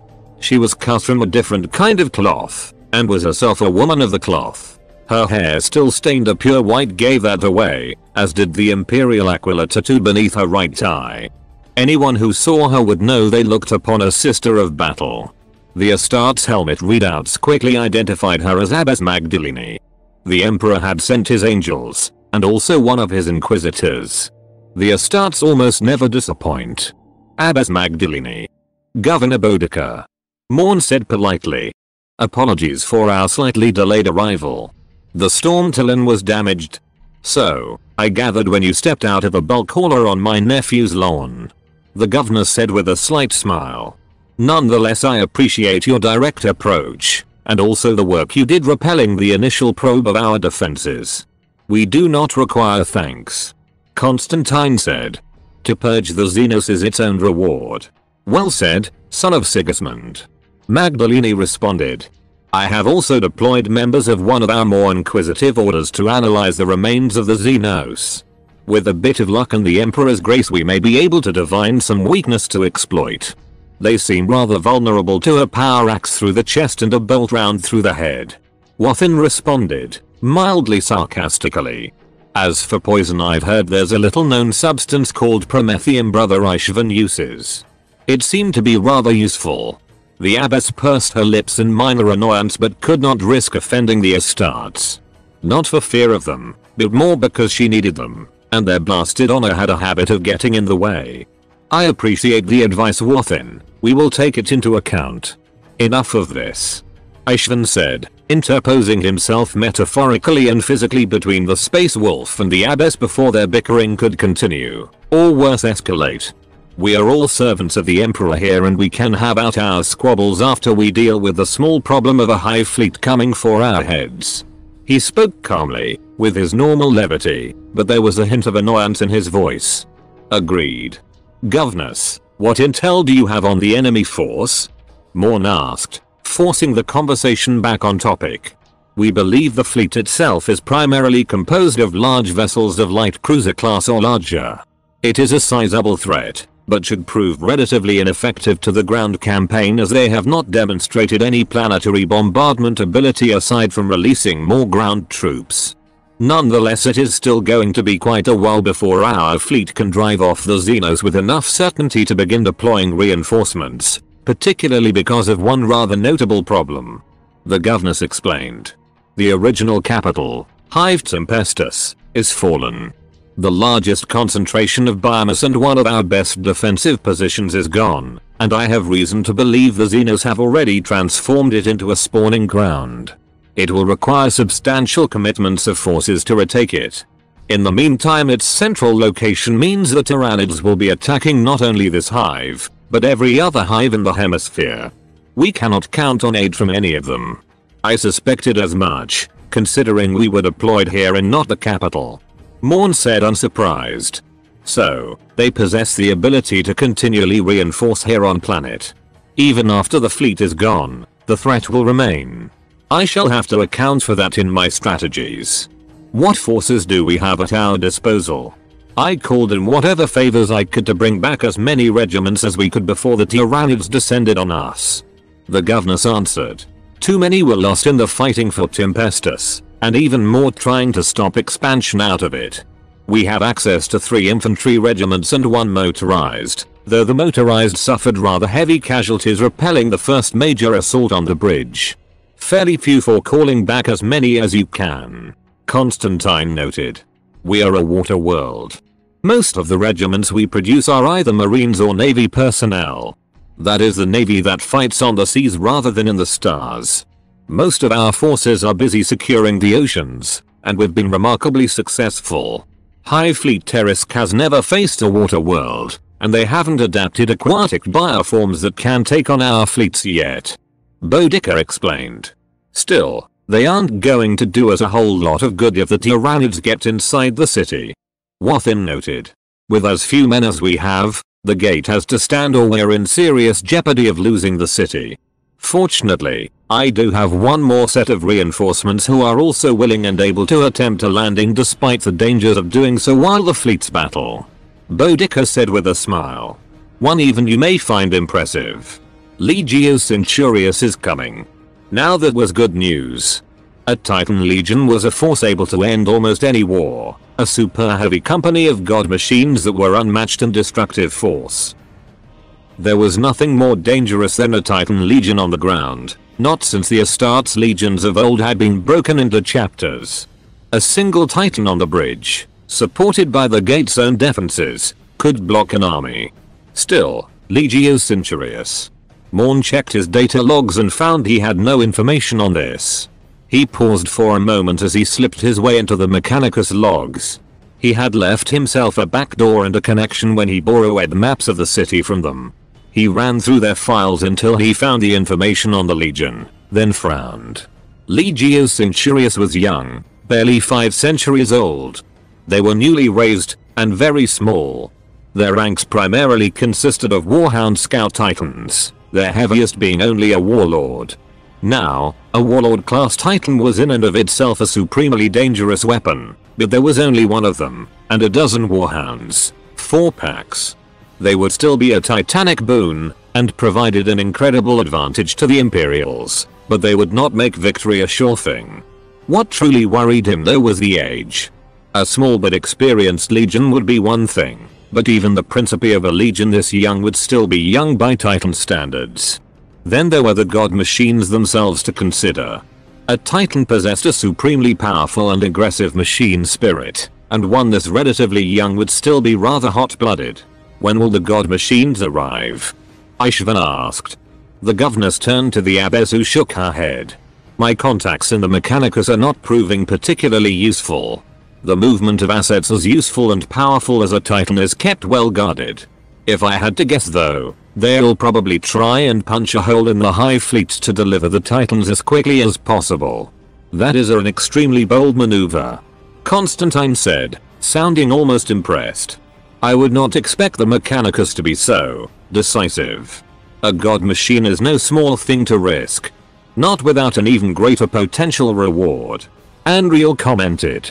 You have managed to rally several regiments of Imperial Guard, a Titan Legion, and the Death Watch itself to the defense of this world in this hive in particular. That is not something even a governor can do easily. That is one of the stranger ways I have been complimented but thank you. Boudica said with a glass smile. It was not a compliment. It was a laying out of evidence. All this suggests you have something here that is exceedingly valuable. I would know what that is. Andriel countered. The glass smile cracked, and the governess turned to the sororitas. She shook her head. The governess considered for a long moment, and then spoke. There is an STC in the city. It was originally in the capital, but as it fell, we evacuated it here, at the cost of practically all of the Skitarii contingent of our force. The news was enough to make even Astartes take pause. Morn twitched slightly. There was quite simply nothing more valuable than an STC. These ancient devices hailed from the dark age of technology and were capable of producing manufactured goods in greater quantities and qualities than anything else in the Imperium. They were so incredibly valuable that the rewards for locating one started with entire planets. Governess. Morn said after a long moment. Why were we not informed of this? His voice was calm and quiet. Andriel took two steps back from the Techmarine because he could see what the others couldn't. Rage, in crimson waves, rolling off of Morn put off a psychic heat like standing too close to a salamander celebration. Andriel was rather impressed at how well Morn's face concealed how he was feeling. Atra also took several steps back. She might not have Andriel's sight, but she had developed a keen sense to danger, and there are relatively few things in the galaxy more dangerous than an angry Techmarine in a closed space. It was not considered crucial for you to know. The governess responded calmly.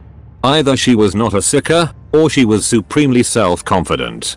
Atra stepped back because she was aware she was weak. The governess, though still only a mortal, looked the Astartes in the eyes, or at least in the visor, as he was still wearing his helmet. She didn't so much as flinch. Magdalene coughed, loudly, in a vain attempt to disrupt the tension in the air. It didn't work. These were not some quarreling spire blue bloods. Thus, she spoke directly instead. My apologies. It was not our intent to deceive you. There is an STC here, namely for the creation of naval destroyers, the aquatic kind, not the spacefaring type. That answers my other concern. Constantine responded. I had meant to ask what you were doing to secure the oceans. They are a massive source of biomass for the hive fleet to use, and a far better avenue of attack than the narrow bridges. In that we are somewhat fortunate. Our navy is superior to the Tyranid forces, for the moment at least, and they have not yet faced an aquatic world. They haven't adapted quite yet, though undoubtedly they will in time. Boudica responded. Once they do, how long will the navy be able to control the seas? Constantine asked. We are uncertain, but not for long. They will simply outnumber us, and if it comes to a battle of attrition, we will lose. So that was it then. They held the upper hand on the seas and with their immaculate defenses for the moment, but once the enemy adapted, it would only be a matter of time. The only question was if they would be able to hold out until the Imperial Navy arrived to break the blockade. Still, a Titan Legion and a squad of the Emperor's Angels was enough to turn the tide of almost any war. Their actions would have to be carefully considered, and decisively change the face of the war, but they could win it. They stayed for a while debating strategy until the sun had set and the hours dragged on. Eventually, they came to an end. Their work was only beginning, but there was a good start to it. So, they retired for the evening, though as they went, the abbess stopped them. One last thing, she asked. Aren't members of the Death Watch meant to paint the majority of their armor black? Oh, that. It got lost in the warp. Ishvan responded nonchalantly. Got lost and do you mean to say the warp somehow removed the paint from your armor? The abbess asked suspiciously. No, the planet that supplies the paint is currently in a warp storm and the Munitorum has been processing the paperwork to get a new supplier to the Watch Fortress for the past 700 years or so. Ishvan explained. Even the mighty Astartes are no match for the sheer mind-numbing amounts of paperwork the drones the Munitorum are capable of putting out. Magdalene remarked sarcastically. Wathin snorted, amused by the joke. Still though, Wathin, you've been serving your vigil for some time, have you not? Ha. Huh? The old wolf barked. The paint's for saying you're a dead man. I've survived this long in the service of the Allfather, and I don't plan on dying to some damned Xenos. I'll push past this and get back to Fenris and my brothers with stories to tell that will set the blood claws hair buzzing. He said this with not just the ego of a brash warrior, but the confident self-assuredness of a veteran of many campaigns. And besides Lassie, he said, drawing close to the abbess, looming over her and glaring down from between bushy eyebrows and thick beard. If I die on this vigil, I die as a space wolf, a son of Russ, not a dog of the Inquisition. He snarled and turned away. Kill Team Equinox Chapter 4, Calm Before the Storm. The Astartes returned to their quarters and rested. It was less because they needed rest, and more because the mortals they were working with, particularly the governess, still required sleep. Still, even space marines are at a fundamental level human, so some rest for themselves was not entirely unappreciated. Boudica had seen to their accommodations, setting aside a suite of rooms usually reserved for passing dignitaries. A small army of tech adepts and their various personnel had also arrived to ensure their weapons and armor were maintained to the highest standard. To call such accommodations luxurious will not suffice. These rooms were equipped to a standard of class and luxury that only the upper echelons of an interplanetary empire could achieve. They were staggeringly beautiful, with walls hung with valuable art, and beds covered by the finest silks. Even the smallest and dingiest of these rooms contained more wealth and luxury than Atra had seen in her entire life. This was of course almost completely lost on the Space Marines. The God Emperor's greatest warriors normally lived in surprisingly spartan small cells, only somewhat larger than the ones a mid-ranking officer might receive. They held few or no possessions aside from their weapons and lived almost exclusively for combat. The soft beauty of these rooms was almost a bit uncomfortable. The exception to this was Andriel, who alone out of the kill team seemed quite comfortable. The upper spire fit the Dark Angel like an old and comfortable coat. Well, if not for one small problem. There was a saying on Ancient Terra, that the hands of the idle were the devil's tools. This statement, born out of the Catholic faith, still bore weight even long after that church had been destroyed. For a Spire noble, the greatest foe was not hunger, or criminals, or attacks from outsiders, the rare assassination attempt notwithstanding, but rather boredom. Of course, the various noble houses did compete with one another, but this was the top 0.01% of society competing for the top 0.001%. Even a house that did relatively poorly in this great game would remain unimaginably wealthy. So, the chief foe was truly boredom. Of course, there could be luxuries and entertainments, food, drugs, cinemas, games, women, or men, depending on the noble, books, etc. But when a life is stretched out into the centuries by rejuvenating treatments, these all grow a shade dull. And so new pleasures must be found, the finest and most exotic food, new drugs, radical new films, interesting games, all manner of degeneracy, and perhaps some less than sanctioned books. But for some, there was not enough. The noble who had eaten every food under the sun might stop and think, I have tasted every animal, but I have not yet tasted man. This was in most cases the effect of boredom, but there were darker things in the galaxy, things that pushed men to ever greater extremes. Slaanesh, the dark prince of pain and pleasure, the chaos god of excess, perfectionism, and extremes in all things. If there were to be such a thing as the devil in this age, Slaanesh would perhaps fit it the best of all. Sin was her domain, and the forbidden his province and the idle hands of the Spire nobles were always fertile ground for her particular brand of crawling corruption. Andriel could see it, like a pink haze settling on the pinnacle of the city and wafting through the houses. It would only take the slightest push to make the upper spire fall into damnation. Of course, this was nothing new. It was the same on almost every world. One could almost cross-section the hives based on how they were most likely to fall. The upper spires were easy prey for Slaanesh, the areas just below for Tzeentch as they constantly schemed to reach the uppermost spires. The lower hives were the domain of violence, thugs, and the general riffraff that empowered Khorne though the constant bloodshed of ganger wars, food riots, and the like. The underhive, where all the waste and filth of the city fell down, that was Nurgle's hunting ground. Each and every hive was no more than a few short steps away from damnation, simply down to how they were organized and built and similar patterns also occurred across the rest of the Imperium. Small wonder that the Inquisition was always kept so busy. Andriel pushed the thoughts aside as he prepared to rest. Before he did though he reached into his pack and removed a small wooden box, carved with certain ornate and arcane symbols. Opening it, he withdrew a set of cards, the Emperor's Tarot. These blessed cards were useful tools for attempting to peer into the future, when the proper psychic discipline was prescribed. He began to draw the cards, trying to parse out the Emperor's plan. Divination was not his area of talent though, and the future remained every bit as clouded as before. Such was to be expected though, the shadow and the warp, the dull roar of the hive mind surrounding the planet, interfered with psyker's abilities.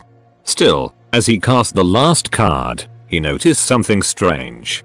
Three cards had become stuck together and cast as one. They were entangled, and when it came to the Emperor's Tarot, there was no such thing as coincidence. He examined the cards curiously. The Fool, the Prince of Swords, and the Moon were all bound together, the Fool in the center, bound to both. Andriel frowned. He had a fairly solid idea of who the Prince of Swords was, but the other two were an enigma to him. He pondered this as he packed up the rest of his tarot and laid to rest, still pondering the meaning of the tarot as he drifted off into rest. The next day, the kill team rose early and immediately set to work doing everything they could to ready the defenses of the city for the coming storm. A meeting was arranged shortly before dawn as the commanders of the PDF, Guard, and the kill team met to begin discussing their strategy. Their first objective was clear, the gatehouse had to hold until the titans could arrive.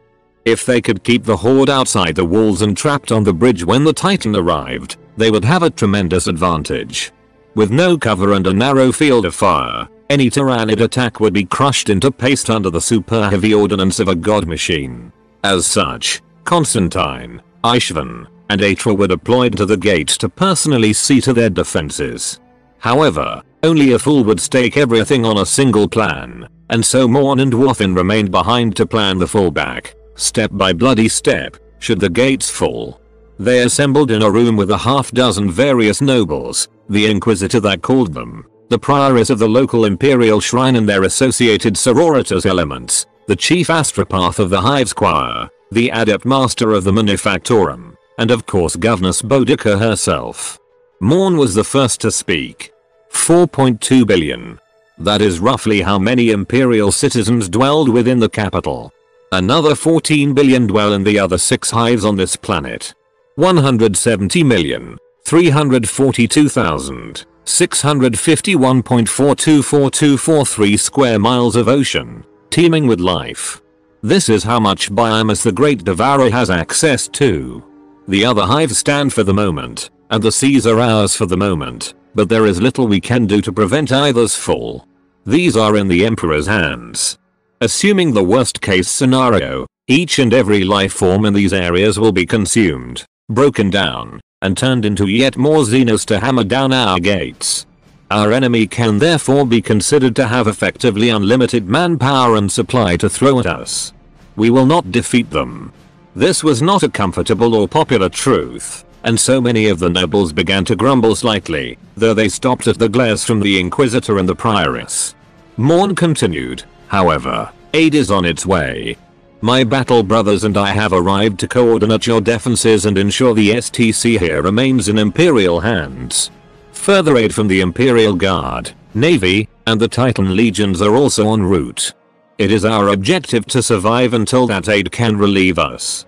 The Titan Legions will be the first to arrive, let us make certain that they arrive to a hive that is yet standing. For this purpose, every man, woman, and child in this city is hereby drafted into the Hive Irregulars. Those that can fight will be equipped, those who cannot fight will be sent into the Manufactorum, which must increase productivity 6.872 fold to ensure sufficient supplies are provided. There is nowhere to retreat, and the enemy will not accept surrender even if we were so weak as to offer it. There are no non-combatants, there are no civilians. There are humans, and the Xenos that will devour us all unless we all stand together. There is only war. Let us begin the business of preparing for it. One of the nobles coughed. Before we do, I would see the face of the man that demands the deaths of my people. Morn stared at the man coldly, and he briefly wondered if he was going to be shot, before Morn reached up and took his helmet in both hands. There was a hiss and a sucking sound as the sealed environment within the helmet was compromised. I do not demand your people's deaths. Morn told him, as two of the nobles next to the questioner pulled back in revulsion at what lay beneath the helm. Morn's skin was pallid, his face all hard edges and strong lines. He was completely bald, and half his scalp was a nest of wires and coils slithering out from his skull and into a metal plate that covered the entire left side of his face. One of his eyes had been replaced with a cybernetic and seemed integrated into the macabre machinery that invaded his skull. His other eye was no less uncanny though, for it was a grey window into an utterly alien and machine-like soul. Their deaths will come whether I demand them or not. What I demand is that they make their deaths useful. So that's why you never take that helmet off. Wathin said, seemingly unperturbed by the cyborg sitting beside him. No, it is because the head is a rather vulnerable part of the body and not wearing a helmet into combat is a very poor decision. Morn responded, not so subtly critiquing his battle brother's own lack of headgear before a donning his helmet. Now, if there are no further unnecessary distractions, let us begin. And begin they did, the mechanical mind of Morn and the wisdom of Wathin, born from 40,000 battles, together they dominated the strategy meetings. It was clear that the Emperor's angels were not merely soldiers without peer, but their minds had been enhanced as well, to a standard that base humans simply could not compete with. Morn's plans were meticulous, considering every single passageway, every hall, every stairwell and every door and how to defend them. He carefully balanced and managed every mine, power pack, heavy bolter, and ration and how to deploy them. Wathin critiqued and refined the battle plans, balancing his mastery of the small encounter and logistics with a knowledge of both the enemy and their own troops born out of centuries of experience. He understood the common soldier perhaps better than any other member of the strategic council, knowing how they would react, when they would fight, and what it would take for them to break. In between managing Morn's cold calculations with his more human touch, he reviewed the troops, squad by squad, and then individual by individual, selecting the cream of the crop and working them together into kill squads. After some argument with Morn, these squads were further specialized by their equipment, creating elite plasma, flamer, hellgun, and other such squadrons to be held in reserve and deployed to deal with any special threats that Tyranids might have in store to deal with centers of resistance. The work was not swift, in fact by many it would have been considered agonizingly slow, given the lack of time, but as the strategy stretched on into the second day, then the third, and then the seventh, the other members of the council began to grow restless. The immaculate planning had begun to create a web of highly defensible positions, each with fallback lines, defensive traps, and other positions able to reinforce. It was in essence a plan to maximize the effect of the fortress-like grandeur of the hive. However, even this plan could not deny a chilling reality. With every defeat, and there would be defeats, every breakthrough, every dead Imperial, the front would expand, bit by bit, until it would retract again around a single strong point, namely the Manufactorum, where the STC was housed. It was a predictable plan, solid as it could be, but there was only one small problem in the plan in the nobles' perspective. Namely that the plan called for them to more or less abandon the upper spires once the enemy broke through. The fine parks, palaces, and all the wealth therein would be lost. This obviously had begun to cause some small amount of disquiet among the nobility, and on the fifth day, one voiced their disapproval. Techmarine Morn, the either particularly bold or particularly greedy noble said. I believe you may have overlooked the upper spires, or perhaps we simply have not reached there in the planning phase yet. Morn glared at the noble contemptuously. I have not overlooked them. The upper spires will be abandoned and possibly mined to be detonated after a sufficient number of Xenos can be baited into them. Are you certain that is the best course of action?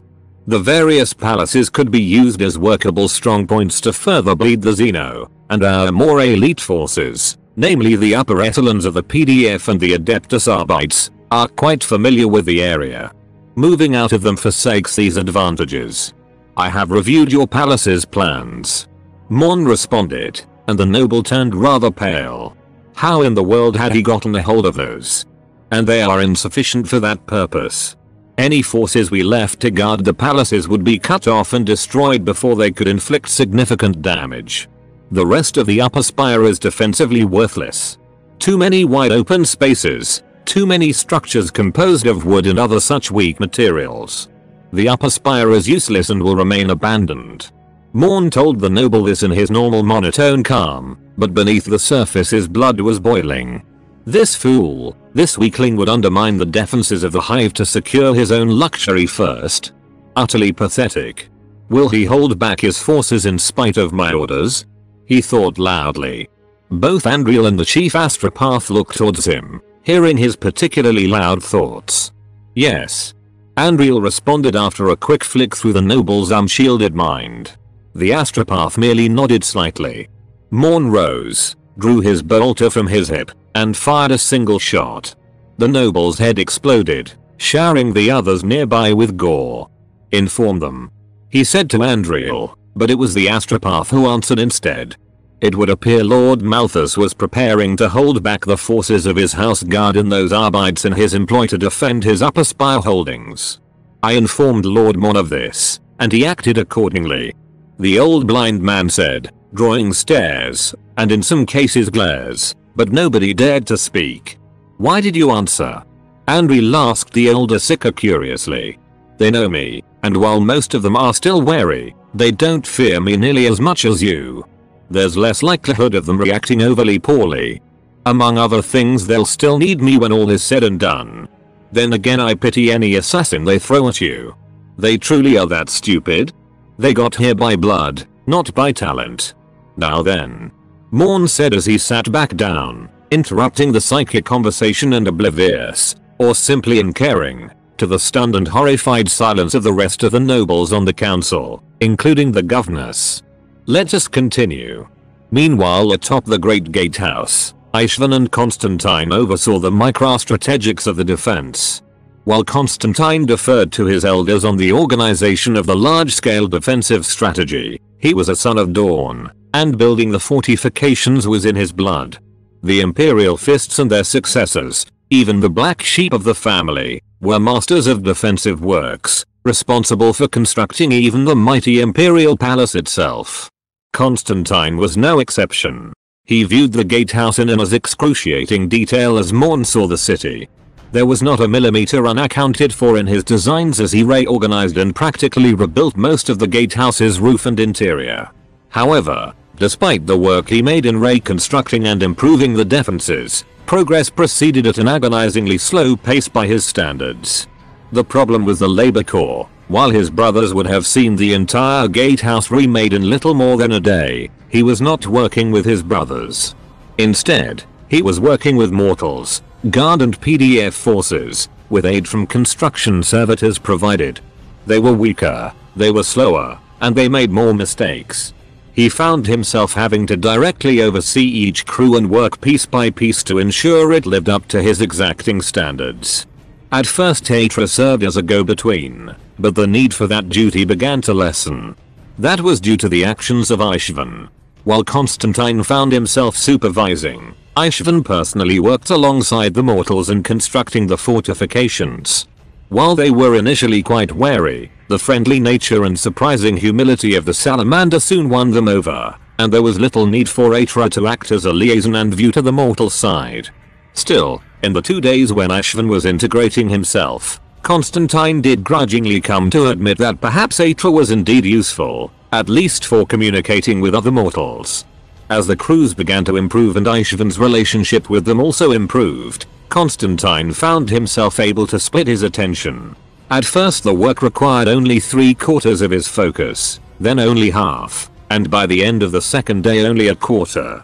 The young warrior became restless and began to practice various techniques with his blades as he monitored the work.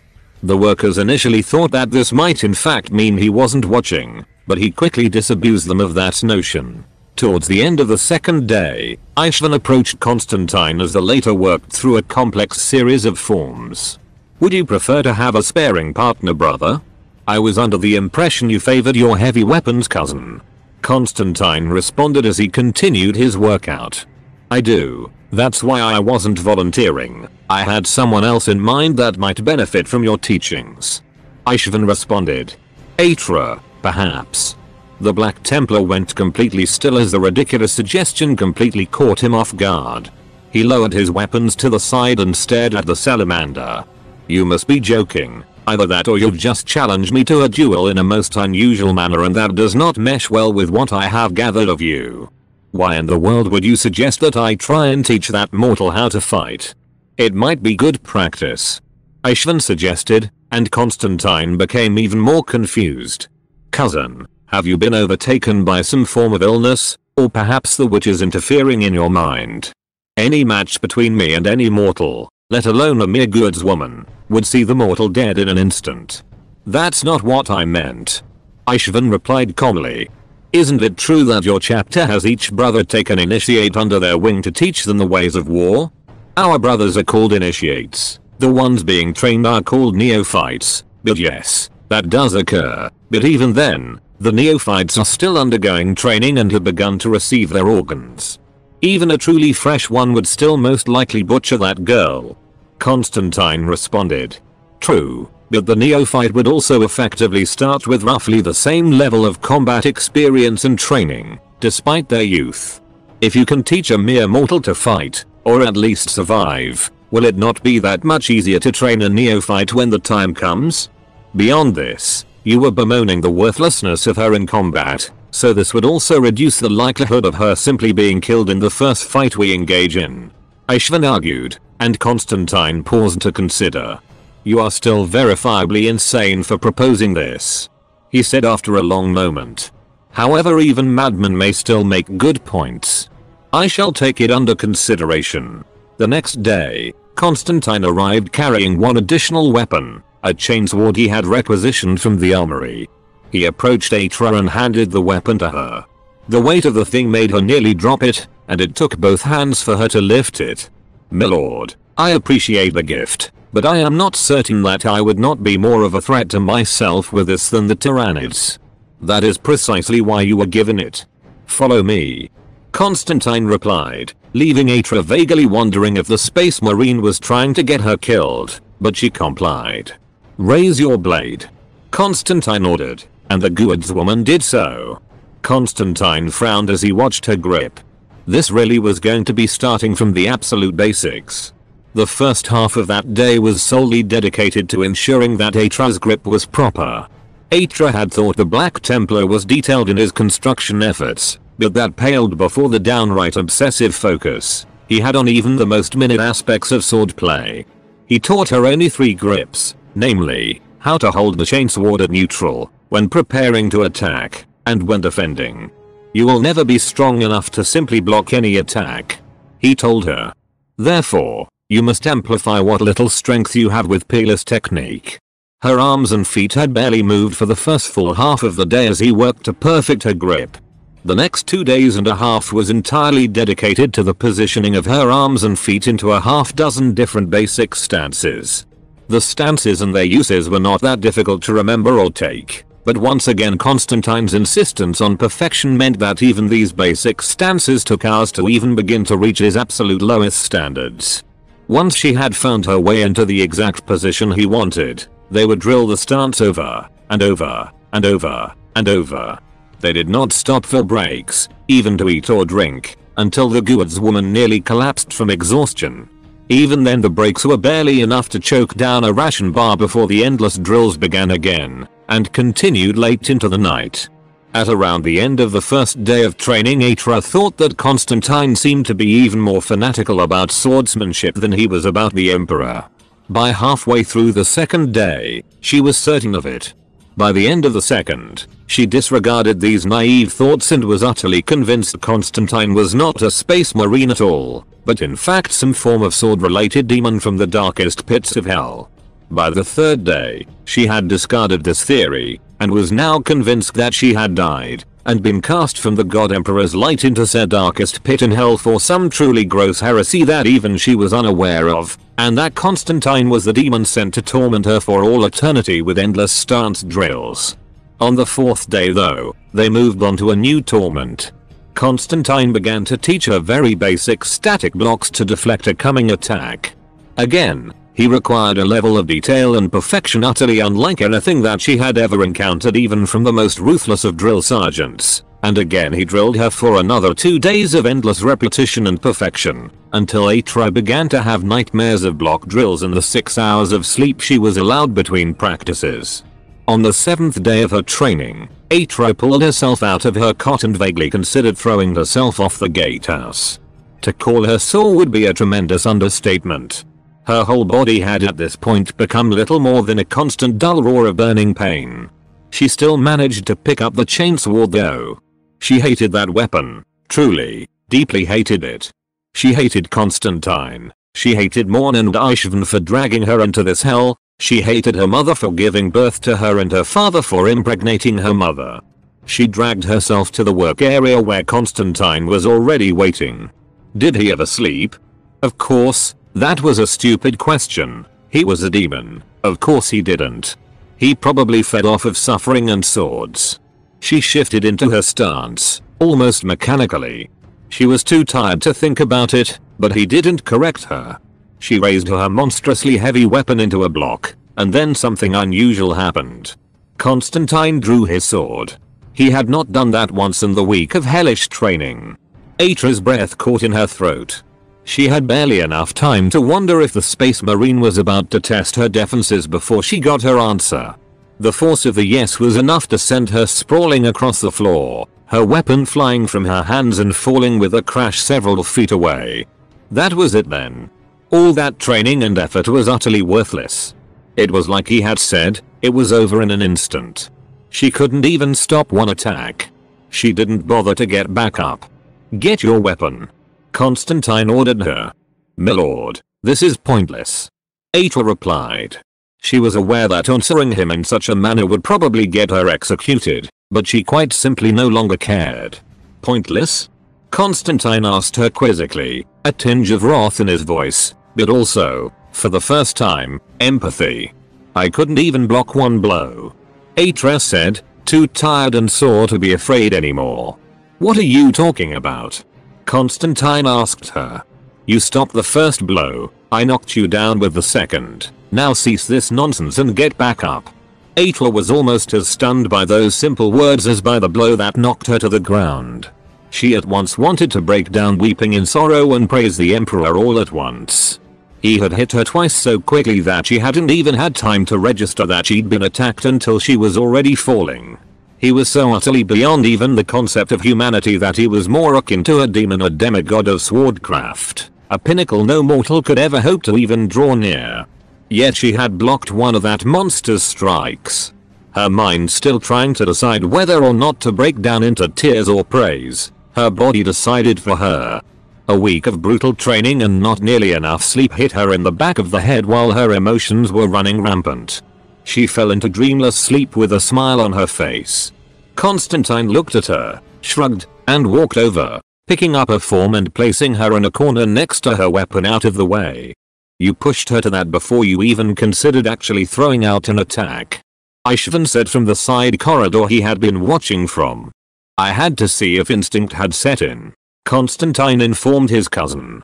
She'll never be able to see or think fast enough to keep up, but if her body and subconscious have the proper form forged into them, with enough training she might be able to survive for a few seconds. Maybe even 30 if the attacker wasn't particularly focused on melee like you. High praise.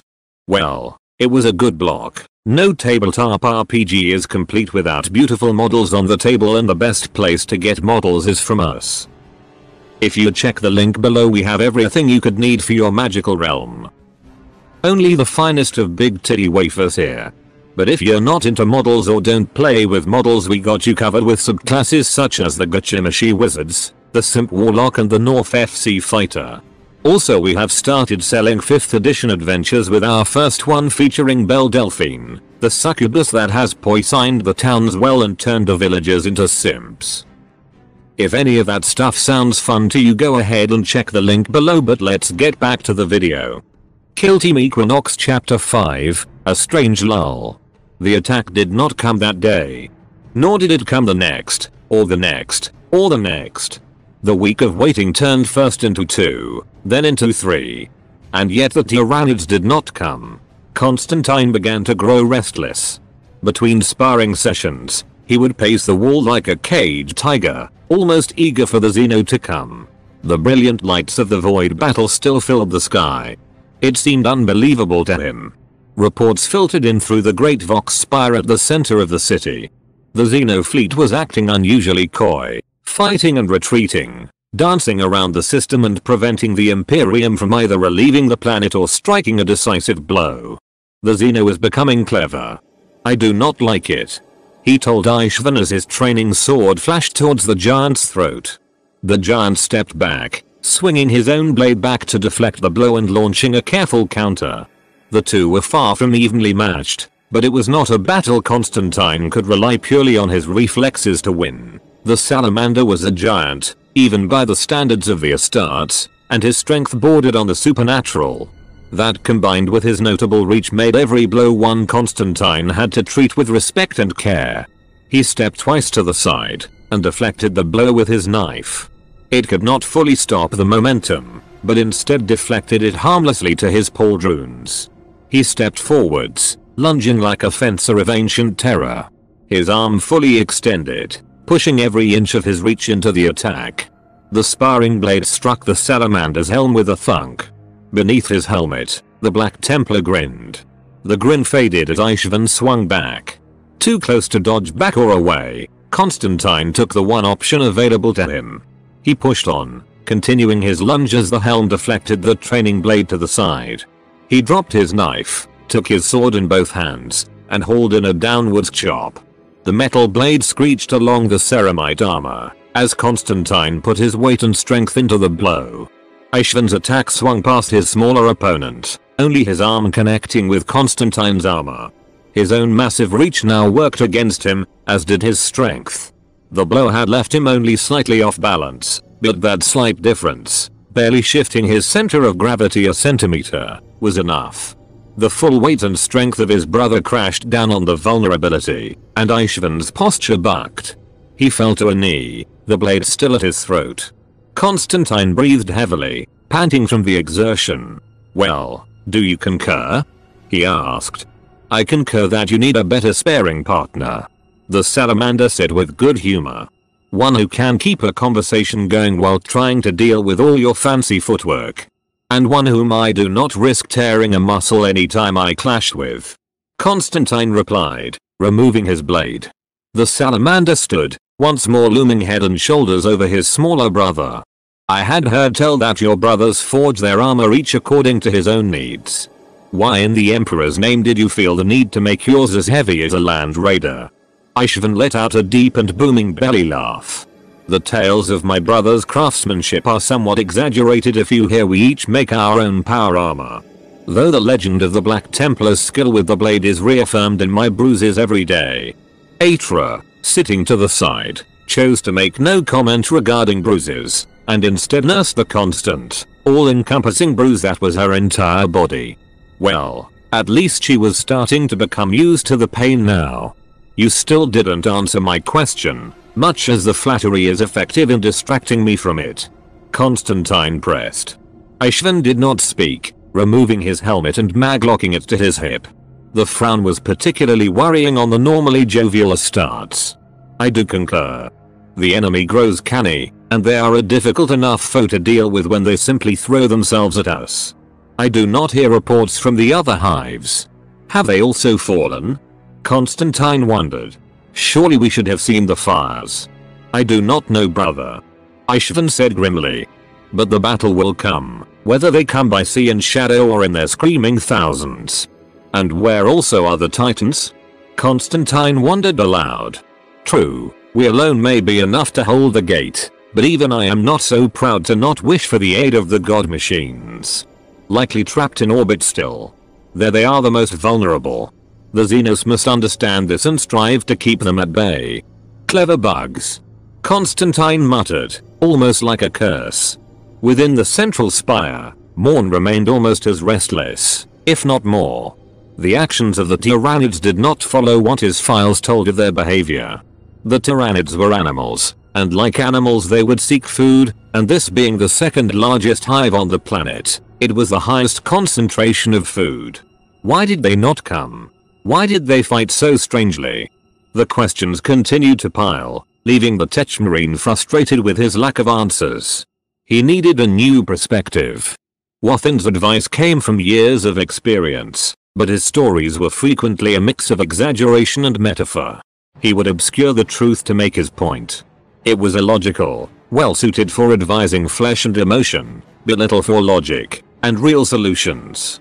He would go to the Manufactorum and seek audience with the Magos. Perhaps there he might find insight into this strange behavior. As he passed by, he heard the sound of music coming from Andriel's mediation chamber. This was abnormal. He walked to the door and pressed a button to open it. Locked. That would not remain so for long. As the door swung open, Morn kept his hands near his bolters. What he found was odd. Andriel sat, cross-legged, playing a stringed instrument, somewhat similar to a harp. He opened his eyes and ceased the music as Morn entered. Cousin, he said, voice slightly baleful. Why do you disturb my meditation? It was abnormal. Why do you have an instrument? Morn asked, unconcerned by the response. As I said, I was in the process of meditating. I was specifically working to focus my mind to contact one of the other hives as you asked of me. The seeker replied, clearly irritated at the intrusion. The screaming minds of the Xeno make such concentration difficult enough without distraction. Then why do you distract yourself with noise? Morn asked, continuing to focus suspiciously. His internal computers calculated several different options for terminating the Seeker if it proved necessary. The Dark Angel sighed. Of course, your librarians would have their own methods of focusing their minds. Morn, you are familiar with the process of music are you not? I am. Did you not hear the binary cants of the Manufactorum as we passed through it? He asked in reply. That was meant to be music? I digress. It is a careful progression of small steps, each of which is key to bringing the whole song together. Put a single note out of step or play one flat or sharp, and the entire composition can stumble. You must have it perfectly memorized, perfectly understood, knowing both each individual note and its meaning and how the whole structure falls together. This is the same manner by which a power is safely manifested. A very careful and extremely practiced series of steps that flow together to create a potent ability. The librarian explained, trying to put it in the simplest terms possible. So playing the harp is a method to focus psychic powers. Morn accepted. This is illogical. Why do you not simply practice the powers themselves? Because that requires directly touching the warp, even in passing. Andriel explained. And do not think because I wield it that I do not fear it any less than you. If anything, I fear it more, for it is my constant companion. Fear is a thing of flesh and mortals. Morn replied. We are the Astartes. We shall know no fear. Be that as it may, I am Magi. Andriel replied, with a strength and focus that gave even the soulless Techmarine pause. Fear is the first ward against damnation. I thought that was contempt. That is the second ward, and a universal one. All should armor themselves in contempt, but for a seeker, that alone will breed arrogance, and arrogance is the path to ruin. Morn nodded, accepting the perspective and integrating it. If this could grant him insight on this topic, perhaps another. What is the meaning behind the Tyranids' unusual behavior? Andriel started slightly at the abrupt change of subject, and paused to consider. The Xeno is known to avoid areas of high resistance until it gathers sufficient force to destroy it. He said, drawing on his own knowledge of the Great Devourer. Considering we exterminated their initial probe, the hive mind may consider this area far more dangerous than it actually is. Similarly, it fears the fleet, and knows it cannot engage it without severe risk. Therefore it circles to wait for something to tip the balance. This planet. Morn replied. Andriel nodded. The biomass of the oceans and hives could bolster the fleet enough to risk an engagement with the fleet. But the navy here is able to prevent them from fully exploiting the seas thanks to the STC. So they target our allied hives, before preparing to bring all their force down upon us. Morn concluded. But something about that conclusion still did not sit right with him. You don't think that's all it is either. Andriel said, and Morn nodded. It is not in my nature to trust my instincts, but they tell me there is something more sinister at work, though I cannot place it. Likewise. There is something strange in the skein of fate. The Emperor's tarot is muddled and double speaking. I thought it was merely the effect of the shadow and the warp, but if you sent it too. Something more is in motion. Genestealers perhaps? Morn suggested. You'd have found them by now, or Wathin would have sniffed them out. I cannot say. Andrea lied. He knew what he feared, but would not dare to speak the possibility. Whatever their scheme, it must be near to complete. I shall leave you to your meditation, he said, the closest thing he would get to an apology. The Techmarine left, and Andriel quelled his worries, redoubling his efforts to reach the other hives. As Morn approached the Manufactorum, he heard the beautiful binary cant ringing across the hive city, to any not inducted into the secrets of the machine cult, it would certainly sound as nothing more than a buzzing whine, but to those who knew it, it was a glorious and beautiful sound. There is no truth in flesh, only betrayal. There is no strength in flesh, only weakness. There is no constancy in flesh, only decay. There is no certainty in flesh but death. Flesh is weak. Morn answered the Credo Omnissiah with that of his own chapter. Weak, Yes, but still numerous and swarming. Clever and cunning, enough that even the sacred might of the machine god might be strained to stand against it. Where were the god machines? As he approached, his vox buzzed with a priority alert from the wall. Morn, this is Constantine. We have conformation of bioforms approaching from the highway. A full force. How long? Morn asked. Two days at most, they moved with unnatural speed. Nothing these Xenos do is natural. Morn replied, almost a grumble. His audience with the Magos would have to wait. Regardless of his quest to understand the Xeno, they had clearly set their plan in motion. Now all that could be done was to try and survive it. Kill Team Equinox Chapter 6 Battle Standard 2 days. At once an interminably long time to wait and not any time at all. At least depending on one's point of view.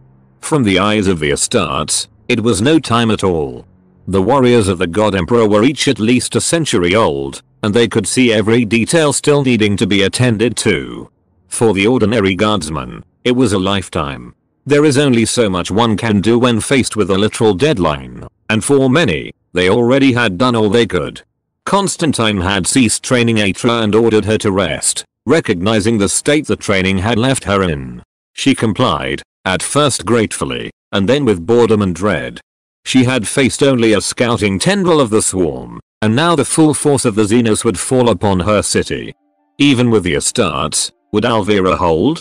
The Emperor protected, that much was for certain, but he was a god, concerned with souls, and righteous fury, and the acts of his sons and great men. It was foolish for any to expect a god to care for the humble guardsman, even he could not watch over the countless billions who served his name. Well, perhaps their souls, but as far as Atra knew, a soul was a relatively light and manageable thing, easily detached from flesh and apparently always in constant danger, if the Ministorum was to be believed. She had never thought much on her soul, though she had certainly been at risk of its separation from her body before. There had never been this, quiet, this exacting knowledge of a battle. She went, and fought, and killed and lived. She did not know her enemy, nor had she ever been expected to. The Orks were Orks, they were xenos and they had been purged. Mostly by the artillery. Unless you were a Catachan, you fought Orks from as far away as possible. But the Tyranids, they were different, new, alien, even for Xenos. There had always been Orks, even the Emperor and Sanguinius had fought Orks, even before the betrayal of the arch-traitor. Orks were simple, understandable. These Tyranids though, alien even to the alien, more like beasts with minds. They never ran, they were devilishly clever, and they were even more numerous than the greenskins. She turned as much as her aching body would allow, thinking on the first battle, the first encounter. What could she have done differently? How could things have played out? She forced herself to consider the battle, to extract every detail of the enemy she could find. The shapes of the creatures, their weaponry and its effect. How they moved, where the LAS shots slew and where they only wounded. Then her mind went to the Hive Tyrant and its guards. She tried to focus on its image in her mind, and could not. It had been fast, shrouded in the power of the hive mind, and obscured by the battle. The Lascannons heard it, the plasma could eat away the armor. Morn, Morn had used some kind of new ammunition to kill it. What had it been? She considered what she knew of bolters. They fired armor penetrating mass reactive rounds, penetrating the body and then detonating inside. They were propelled initially by shot and then afterwards by rocket. The Hive Tyrant had, well for lack of a better term, melted. The bolter shells must have been loaded with some other kind of payload. Her first thought was plasma, but she swiftly ruled that out. Her own experience with the temperamental weaponry knew better. Could it be a chemical compound, similar to the Tyranid's own bioacid? She considered the death of her previous commander, and mentally compared it to the death of the Hive Tyrant. Yes. That was it. A powerful biological or chemical agent, eating through the creature's insides. Flammable too, based on its interaction with the lingering fires in the wound. Then again, almost anything was flammable on contact with plasma. Yes. They had torn through the formation with relative ease. But there were only five of them. They were the Emperor's avenging angels, but there were only five. She knew such doubts were foolishness, perhaps even heresy. She knew they stood in opposition to the evidence of her own eyes, but they were only five. So, she was left to wait, to rest her limbs, and to pray. Pray that the Emperor would protect, not merely souls, but weak flesh and stronger steel. When she was called back from her rest, she was indeed rested. She had forgotten how blissful it was to not hurt. She lifted her chain sword, initially with contempt. Then she laughed aloud at how much lighter it seemed compared with before. It still took her a great deal of effort to control the weapon, but she had grown substantially in the two weeks of hellish training. She caught a glimpse of herself in a reflective wall. She had never been a small or weak woman, those did not make it into the guard, let alone survive. But her musculature had developed substantially. I still fail to see why you're considering this idea. Constantine told Wathin as the two watched the horizon for the first signs of the Horde. Why would it have any benefit over doing it ourselves? You've been teaching a mortal and working with them since we've gotten here lad. Tell me what you've learned of them. The old wolf replied, watching the Black Templar cunningly. I have learned that they are remarkably weak and do not learn anything of combat besides how to hit the broadside of a battle barge from long range. Constantine grumbled.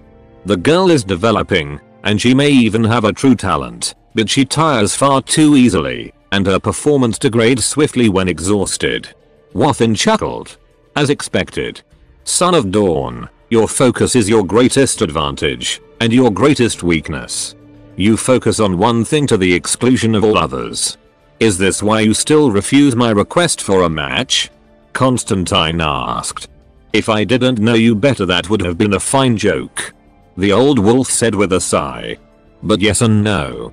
There is no benefit to a match between us, and more likely than not it would be to your detriment.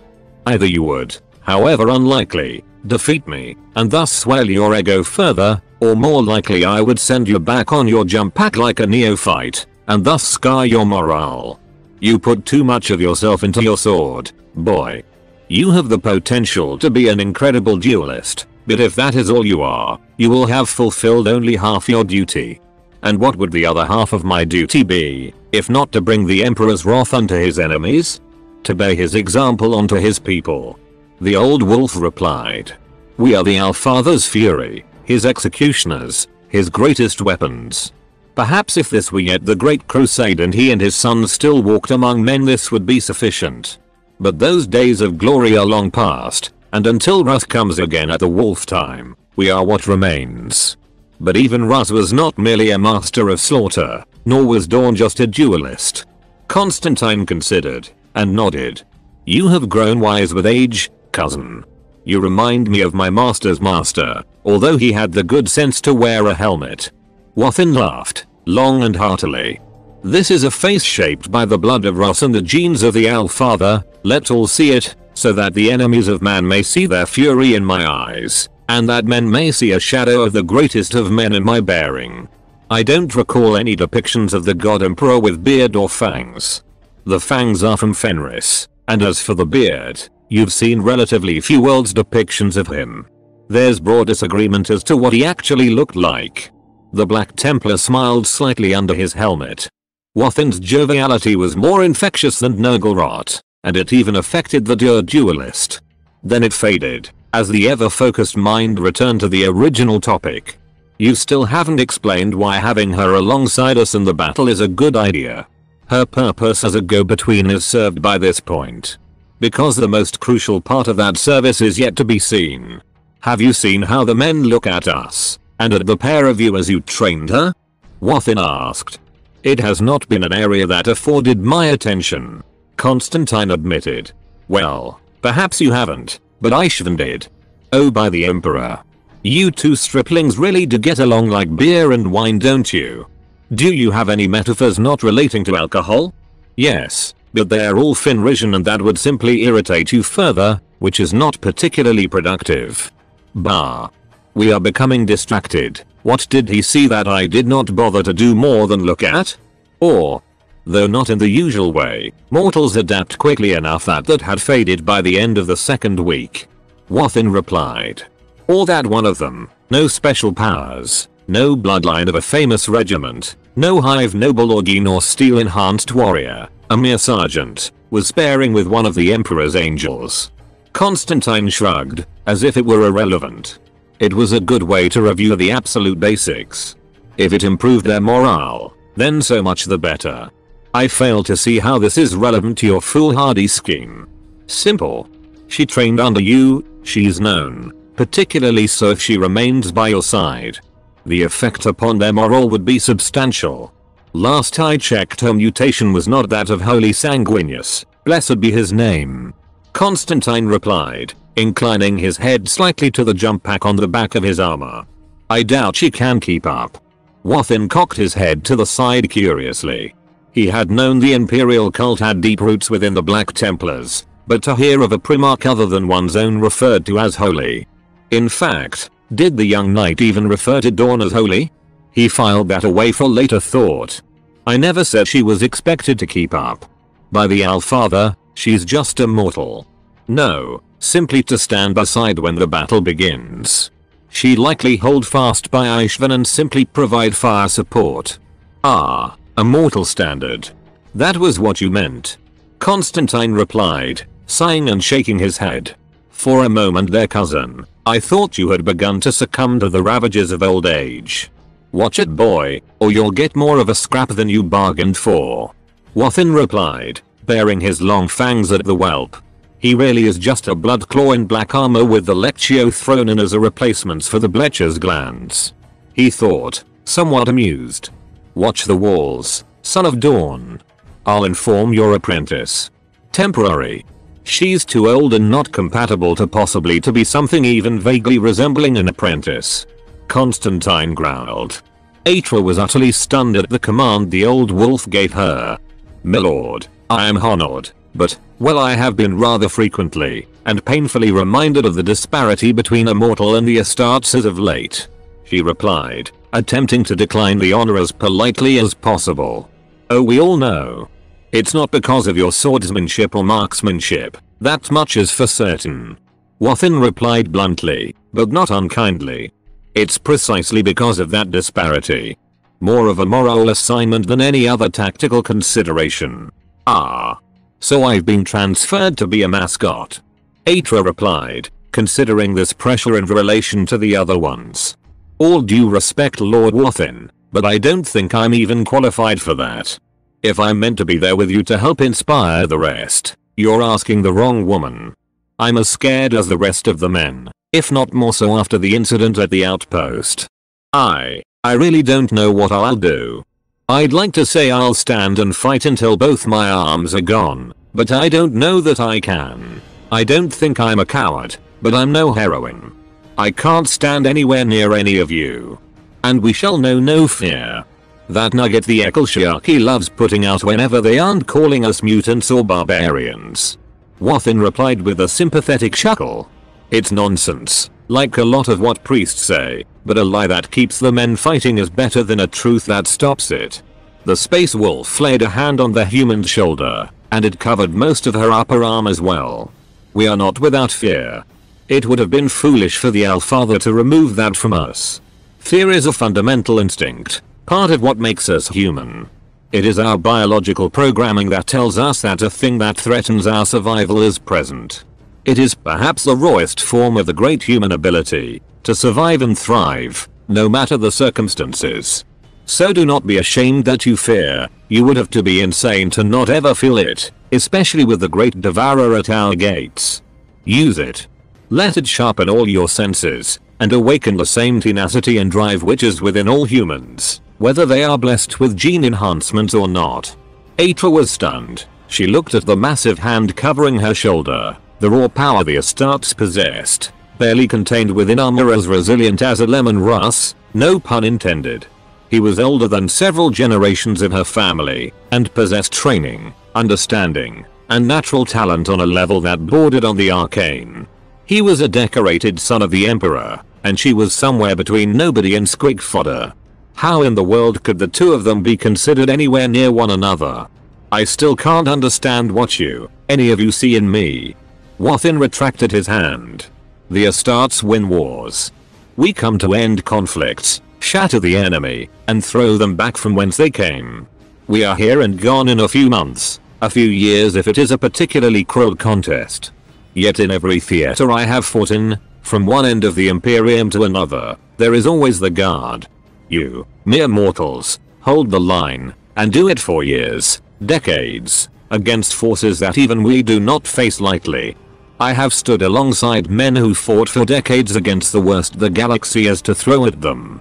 You may be mortals, but to consider you lesser would be the same folly as the traitors of old, and in utter denial of the reality of the modern imperium. So, I bid you stand, daughter of Alvara. Stand for your home, and stand to show them all that the bravery of mortals has not diminished from the days of Elenius Pius. Atra's heart swelled, and she stood upright, then chuckled slightly. You know my lord, with as much as you seem to dislike the preachers, you'd make a fine one yourself with speeches like that. Bah. When you're approaching 700 years old you'll have heard enough speeches to make telling the obvious truth sound impressive as well. Though age doesn't appear to have refined Morn as much. Morn is older. By a pair of centuries no less. Must have spent some time in stasis. Either that or enough of him is steel at this point that he's ageless even by our standards. I would advise you not to bring it up. Yes sir. Is there anything else you require? A stiff flagon of Mjod, but I already know your planet has nothing approaching it, so I'll manage without it. Wathin replied. The enemy will be in range in 4 hours. I expect to see you on the walls. Yes my lord. Atra replied, and saluted. The old wolf nodded, and left her. Four hours and at least one standard issue requisition of liquid courage later, Atra readied herself for battle. New armor had been brought to her, somewhat sturdier than the usual cardboard that the rest of the men used. It wouldn't do for the battle standard to be slain by the first stray-boned rifle, now would it? The armor was similar enough to her old gear to be familiar, but incorporated additional ablative plating, colored a simple black. Her sergeant's stripes seemed brighter than ever. On her opposite shoulder stood a new symbol, a rising serpent, coiled about a sword. It was the Alvaran dragon, the symbol of each and every regiment her planet raised. There was no number beneath it to indicate which regiment she was from. She wondered at that, if she would go back to simply being another sergeant among many after this was all done. Of course, that assumed she survived. She checked her vox bead, straightened her helmet, strapped on her chain sword, and shouldered her plasma gun. It was time. She marched out onto the battlements, there the rest of the army was assembling. She might have recognized the regiments once, but now, with the casualties sending everyone into scratch regiments, it was all a mess of contradictory symbols. But they were here, and they would stand. Regiment hardly mattered at this point. They would all fight together, or die together. She approached the center of the gatehouse wall, where the full kill team stood, watching as the enemy came. She swallowed, she didn't belong up there, with heroes and demigods. But the Emperor had need of her, to show her comrades in arms that they could stand alongside them. She closed her eyes, and offered a prayer, both to the Emperor, and to Saint Elenius. For the courage to match that role, to stand like the heroine they seemed to expected her to be. Then, shaking slightly, she marched to the center, and saluted sharply before taking her place. Ishvan gave her the slightest nod of encouragement. The enemy was in range, vaster and more terrible than anything her worst nightmare could have conjured. The skies were covered in what first seemed to be clouds, until she peered closer. They were Tyranids, smaller gargoyles swarming around massive bioforms that floated along like carrier craft. Beneath them, the seas boiled. Already, the preliminary skirmishing between naval elements had begun. Monsters dwelt in the deeps, and the navy would face them. But her duty lay before her. The bridge was blotted out beneath an ocean of Xenos, both innumerable gaunts and other smaller forms, and merely countless numbers of tyrants, carnifexes, and other creatures she had no names for. Equariatra, the enemy is in range. Her vox buzzed. Siege guns are ready to open fire. Very well. She replied, shifting into the simple, hard tones of an officer. She was here now, and so was the enemy. Fear was no longer of any use. It fell beneath a simple, cold determination. She thought she might give a speech, but it hardly mattered now. Open fire. She ordered, then unsheathed her chainsword and raised it towards the enemy. There was no need for speeches when three words would suffice. For the Emperor. She roared, and the defenders of Alvara answered her. A single voice from a thousand throats. For the Emperor. Their battle cry drowned out even the sound of the siege guns, and the scuttling of more than a million Xenos coming to silence them forever. Well guys hope you enjoy today's video. We are going to assume you have if you have stayed to the end. Consider subscribing and clicking the notification bell if you really enjoyed it to stay up to speed with any and all new videos. Also check out the links below to our shop for some fat ass titties and our sponsor Reroll and be sure to use a promo code at checkout so they know we sent you and you'll get 10% off. And until next time.